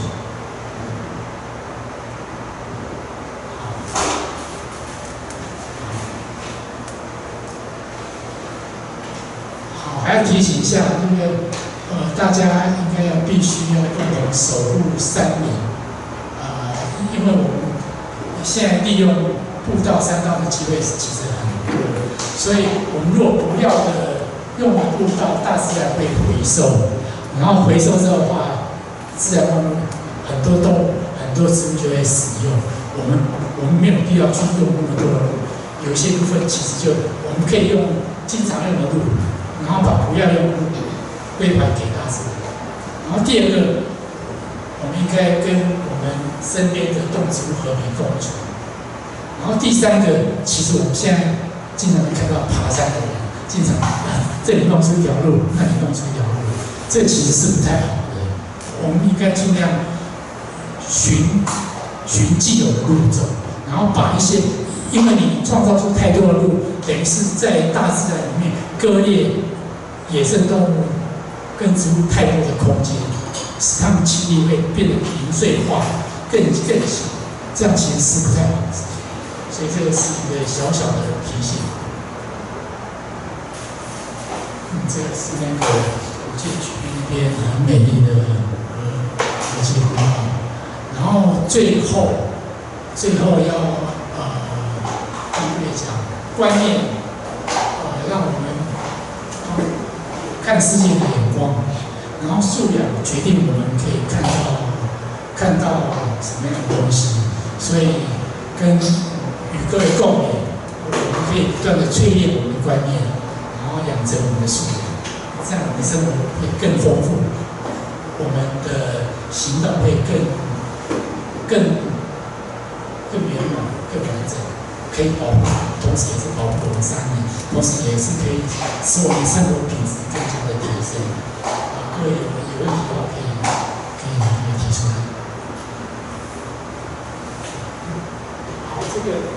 啊，这个答案可以可以给各位那个有问题的话，可以不然的话，我我刚刚的问题也也可以那个。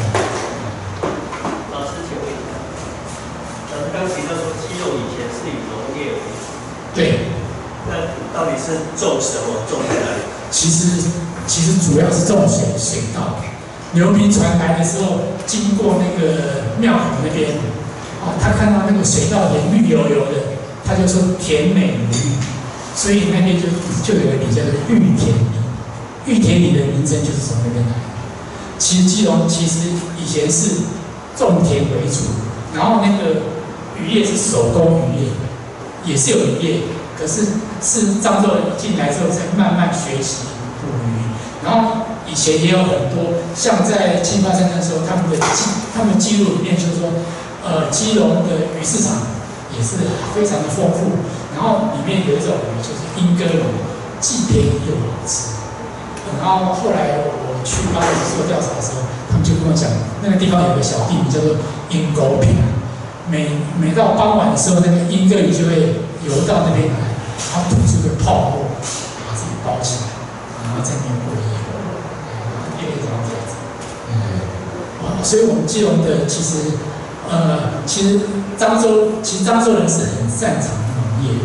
泉州人其实是比较擅长做生意，所以。所以台湾的港口主要都主要都被泉州人，然后像板桥林家那是漳州人，他们很擅长农垦，很擅长买地赚钱买地赚钱买地。所以基隆以前从八斗子一直一直到和平，一直一直到万木山，其实都是有农业的。你看那个旁边那个平地哦，几乎都在种田。可是你不是不是泉州人吗？没有八斗子泉州人也还是会种田。基本上的话，整个汉人移民过来是带着大陆文化过来，他们擅长的是农耕，他们少部分也会渔业，可可是毕竟是很少数，因为毕竟住在海岸的是少数人，所以他们是农耕文化。然后进到台湾来之后，他慢慢学习。所以在那个大概一八五零年左右，焚基网呃引进到基隆以后，对基隆的渔业来讲，它是一个很很大的一个发展。他们通过焚基网就可以收收获就就比较好，不然像以前的像巴勒斯坦抓鱼，鱼鱼虽然很丰富，可可他们渔法很差，所以捕的鱼就很少，所以还是很贫穷。有任何问题都可以来。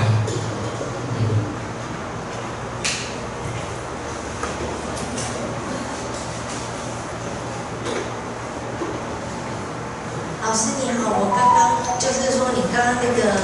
你有讲到说那个有一个第三方，你是讲说那个就是大家要尽量不要再开垦新的路，旧现有的路去走，这样子。嗯，对，除非有必要。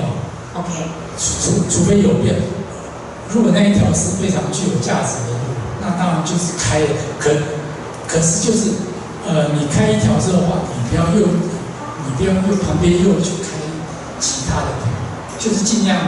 呃，在那个既有的道路行走。但如果非常有价值的路，那当然还是可以去开采，啊，可以可以去开辟的。然后在开辟的过程当中啊，其实维护也是很重要。比如说我们现在有发现很多很多的侵华战争的遗址，然后我们就很担心说，你如果那个路清的太干净，那有一些树木跟跟那个灌木的东西，它其实是保一切部分呃保护的很好。可是你如果砍掉的话，它可能大批来很快就会受到破坏。所以开路其实必须要小心一点，也不是不能开，而是因为现在很多的登山者可能会开很多，可能就是用他的个人的自由意志开了很多，这样其实是比较比较容易伤伤害山林。如果说有一种状况是他的那个路本来就是在的，可是因为它可能是土路。但是因为就是太久都没有人去走，然后没有人去走，然后后来就是又有人觉得说，哎，那个我现在有需要要再走了，然后他还是就再去救那条路，再去重新就是把那个生长出来的草给除掉，这样子算是好的吗？其实这样子是也可以，可是就是说，呃，如果这条路是既有路的话，那其实开出来的话。我们就用比较自然的方式把它维护的比较好，而不是用人工的方式把它变成那个像像有些步道啊，当地方政府有钱之后的话，有些步道就变成整整条都做水泥，那个其实非常糟糕。所以像现在手做步道就是非常好的一种好的一种方式，也是比较不会去伤害自然的一种方式。嗯，所以这个还是要去尽量去考量它的必要性。有必要的话，当然还是可以。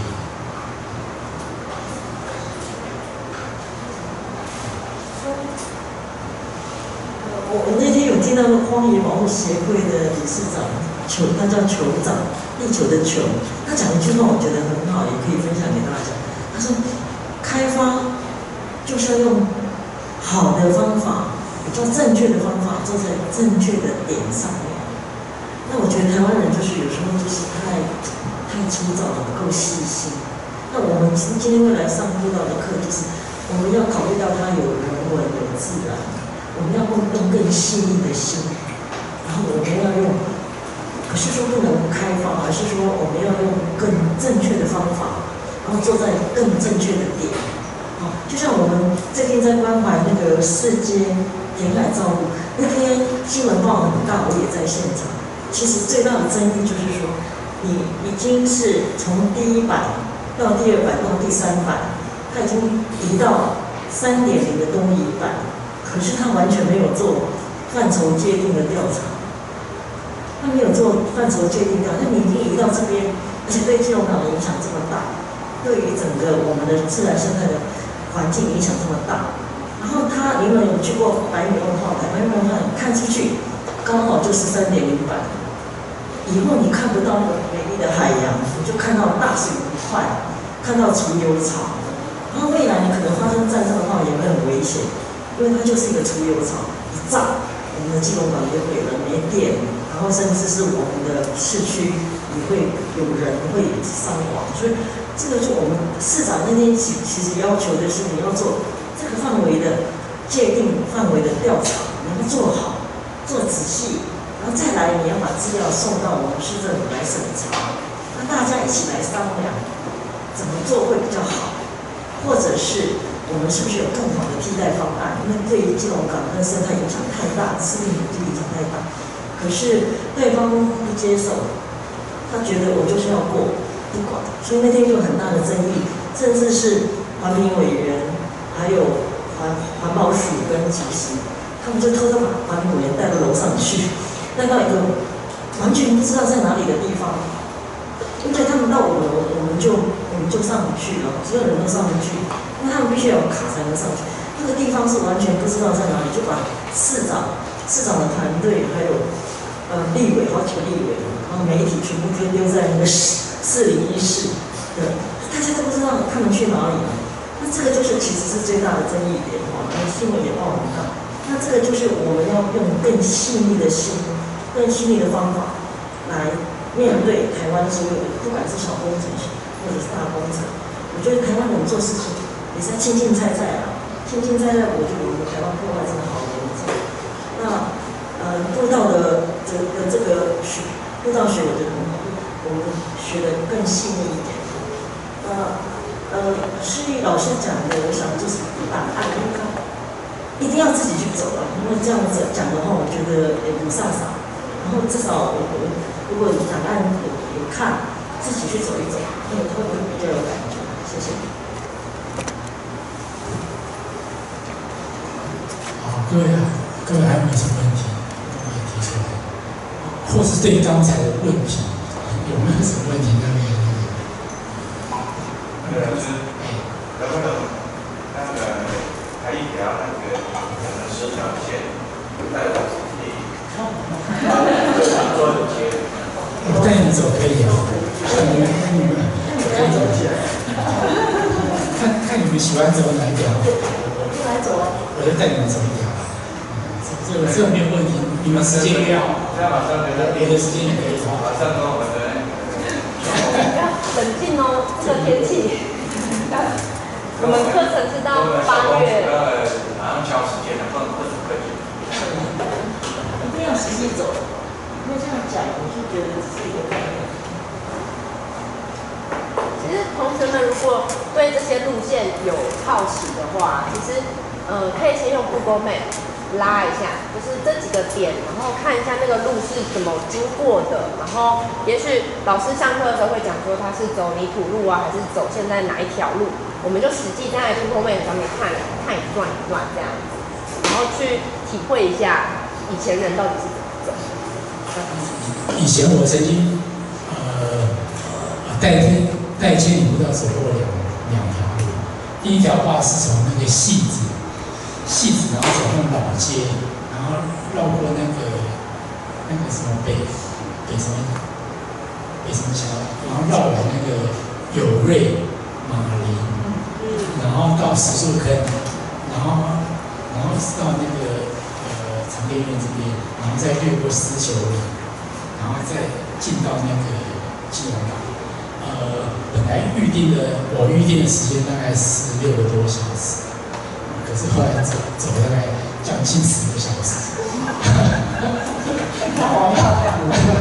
有瑞跟那个马林都很漂亮。很漂亮啊，那个很漂亮。啊，结果走，结果走到马林中途的时候，所有人都要求我说：“你可以不可以带我去大埔看那个登登山的？因为十年前那那刚好是那个登山的现场。”很有趣。然后第二条路线是从十分、十分、十分越过十分古道，然后到马劳坑，然后看看一下马劳坑的画面之后，再走往南嘛。然后大概走好不到南大概大概五分之四的人大概就走不动。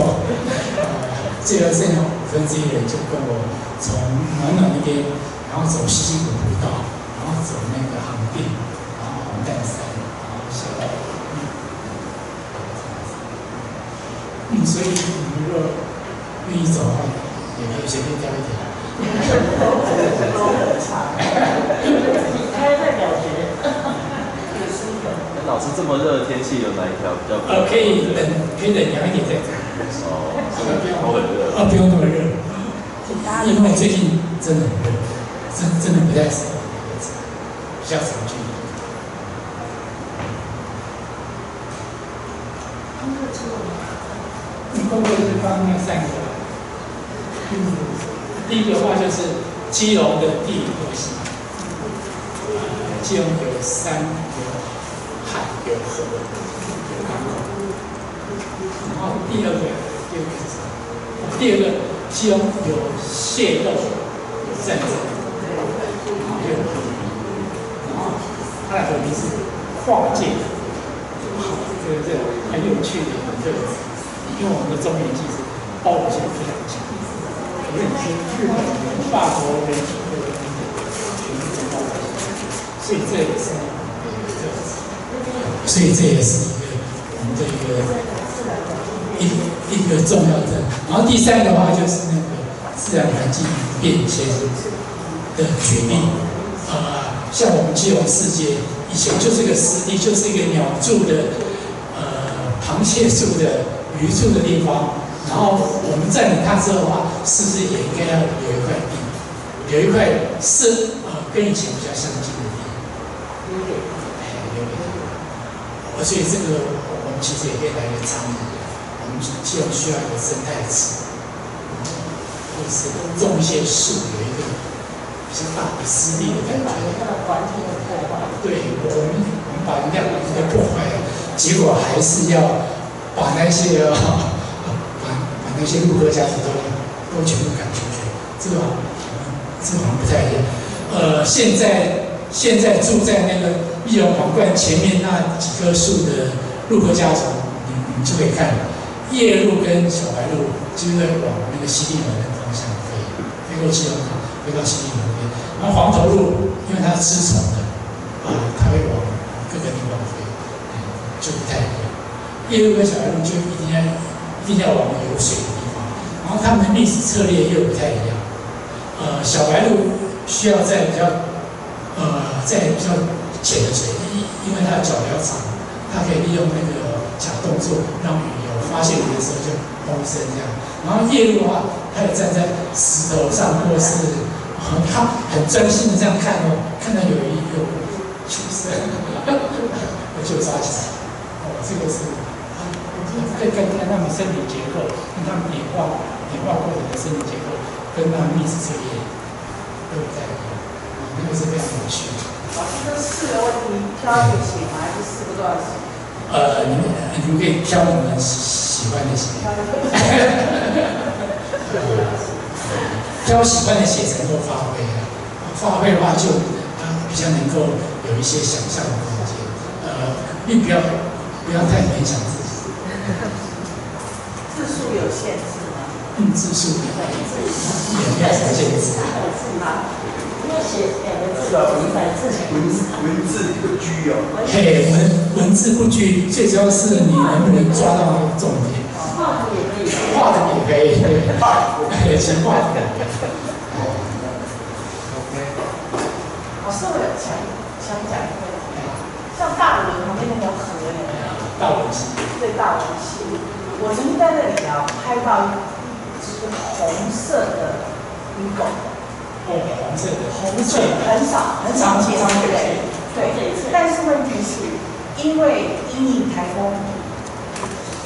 两边的草全部除掉，因为你会阻碍水流嘛。然后我就发现它它的窝里不见了，找不到了，那个鸟就不见了。你这两种之间的这个。怎么取舍？你看他，即使他做了，把这些草都除掉，真的台风来，他还是照淹水啊。对，对不对？你看那个那个大河淹到那是连计程车都可以被漂走，你看那水有多大？那显然他这个除除草，这个动作其实是不需要的。对，其实是不需要。其实我们在我在二十几年前做那个介华中游的一些资料调查的时候，其实就有遇到这个问题。当时如火如荼的在做野溪整治，然后当时那个台大的教授张石良就跟我讲说，什什么叫野溪整治？就是把两岸的河岸限制起来，然后出河岸旁边土地就就可以使用，这就叫野溪整治。哦，这个其实非常没有环保概念的一个，所以其实当时的生态工法其实。可是现在即便有生态工法，其实有一些土地行政费在的，所以你做的生态工法其实还是没有办法去去那个像以前那样子缓缓的、很自然的那个那个感觉，所以这个就是一个困境。台湾在那个过程当中，发展过程当中就是太所以这两者之间的选择，比如说他如果真的不去除草，然后你真的台风来了，淹水，他就除除草那个部门就会被骂，你为什么不做应该做的事情？公部门对，最公最怕部门最怕做这个，所以他非得在台风来前把它除掉。但问题是，他除了，他工作做了，淹水照淹，苗也没有了。可是公务人员的人至少画借口，我操。是台风太厉害了。对，这个这个就是个困境，这个就是台湾人观念，这个其实就是这个观念的一个。如果普遍的人，大部分都有这种观念，我们就不会去太过苛求那个人。那这样的话，或许两者之间，或许就比较容易达到某一种在土地上施作的一个平衡。所以观念的整个提升，其实也是很重要的一件事情。否则的话，这个冲突太太很难去平衡。所以所以呃，不过台湾至少现在慢慢这种意识已经是慢慢起来，至少稍微好一点，年轻一辈至少要应应该会走向比较好的路子。还有问题。同学有问题吗？好，那如果都没有问题的话，那我们就谢谢老师。好，谢谢。